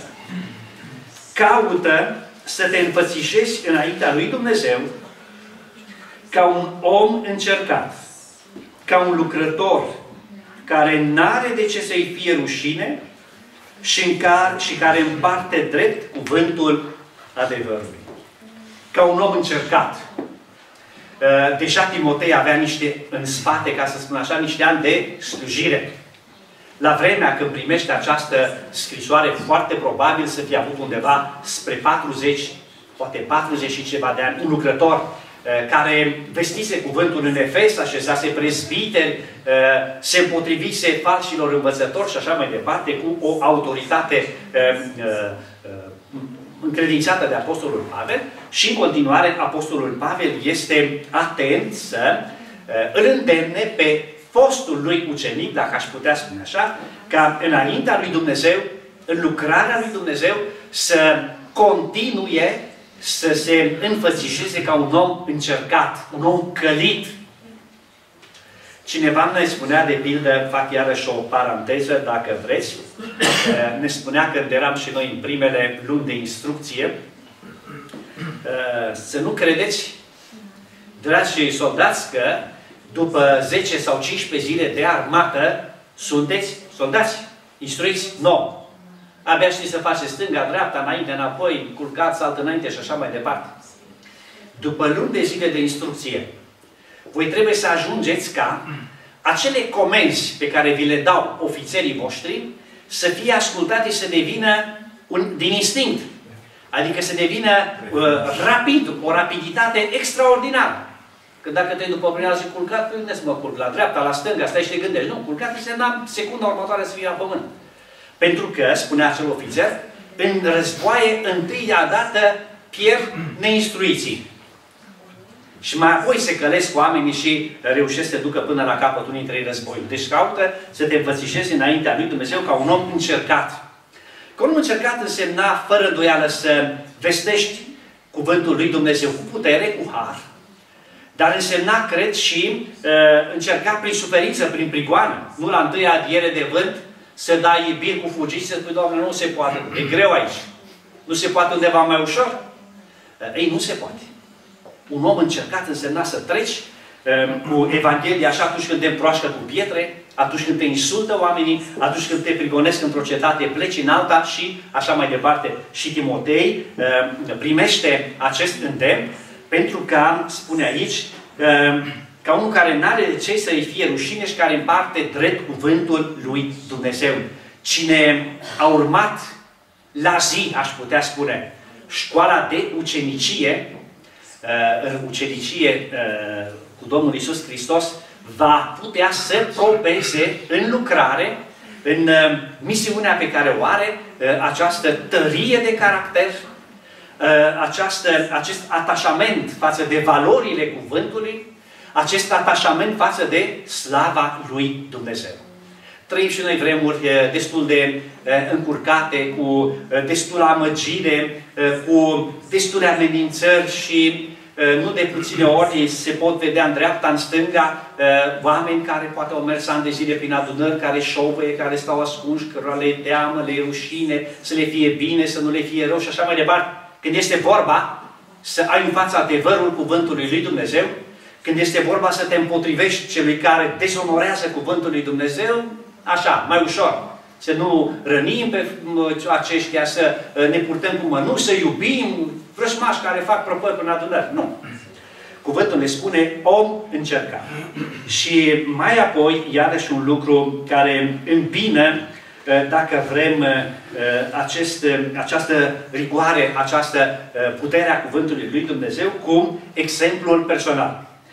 Lui Timotei se spune în a doua Timotei, capitolul 3, versetul 10 și 11, dacă vrem să le urmărim. Tu însă ai urmărit de aproape învățătura mea, purtarea mea, hotărârea mea, credința mea, îndelunga mea răbdare, dragostea mea, răbdarea mea, prigonirile și suferințele care au venit peste mine, în Antiochia, în Iconia și în Listra. Știi ce prigoniri am răbdat.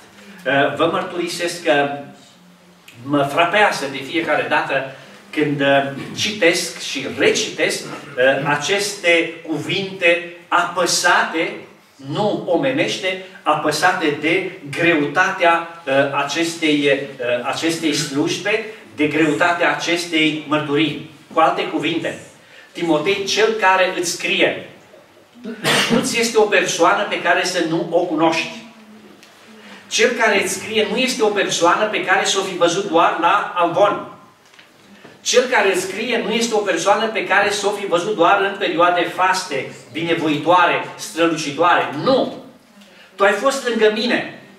Tu ai putut să vezi, ai putut să recunoști, ai putut să evaluezi aceste aspecte care dau, uh, care dau uh, un caracter creștin. Credință, răbdare, îndelungă răbdare, propovăduire, slujbă, suferință și așa mai departe.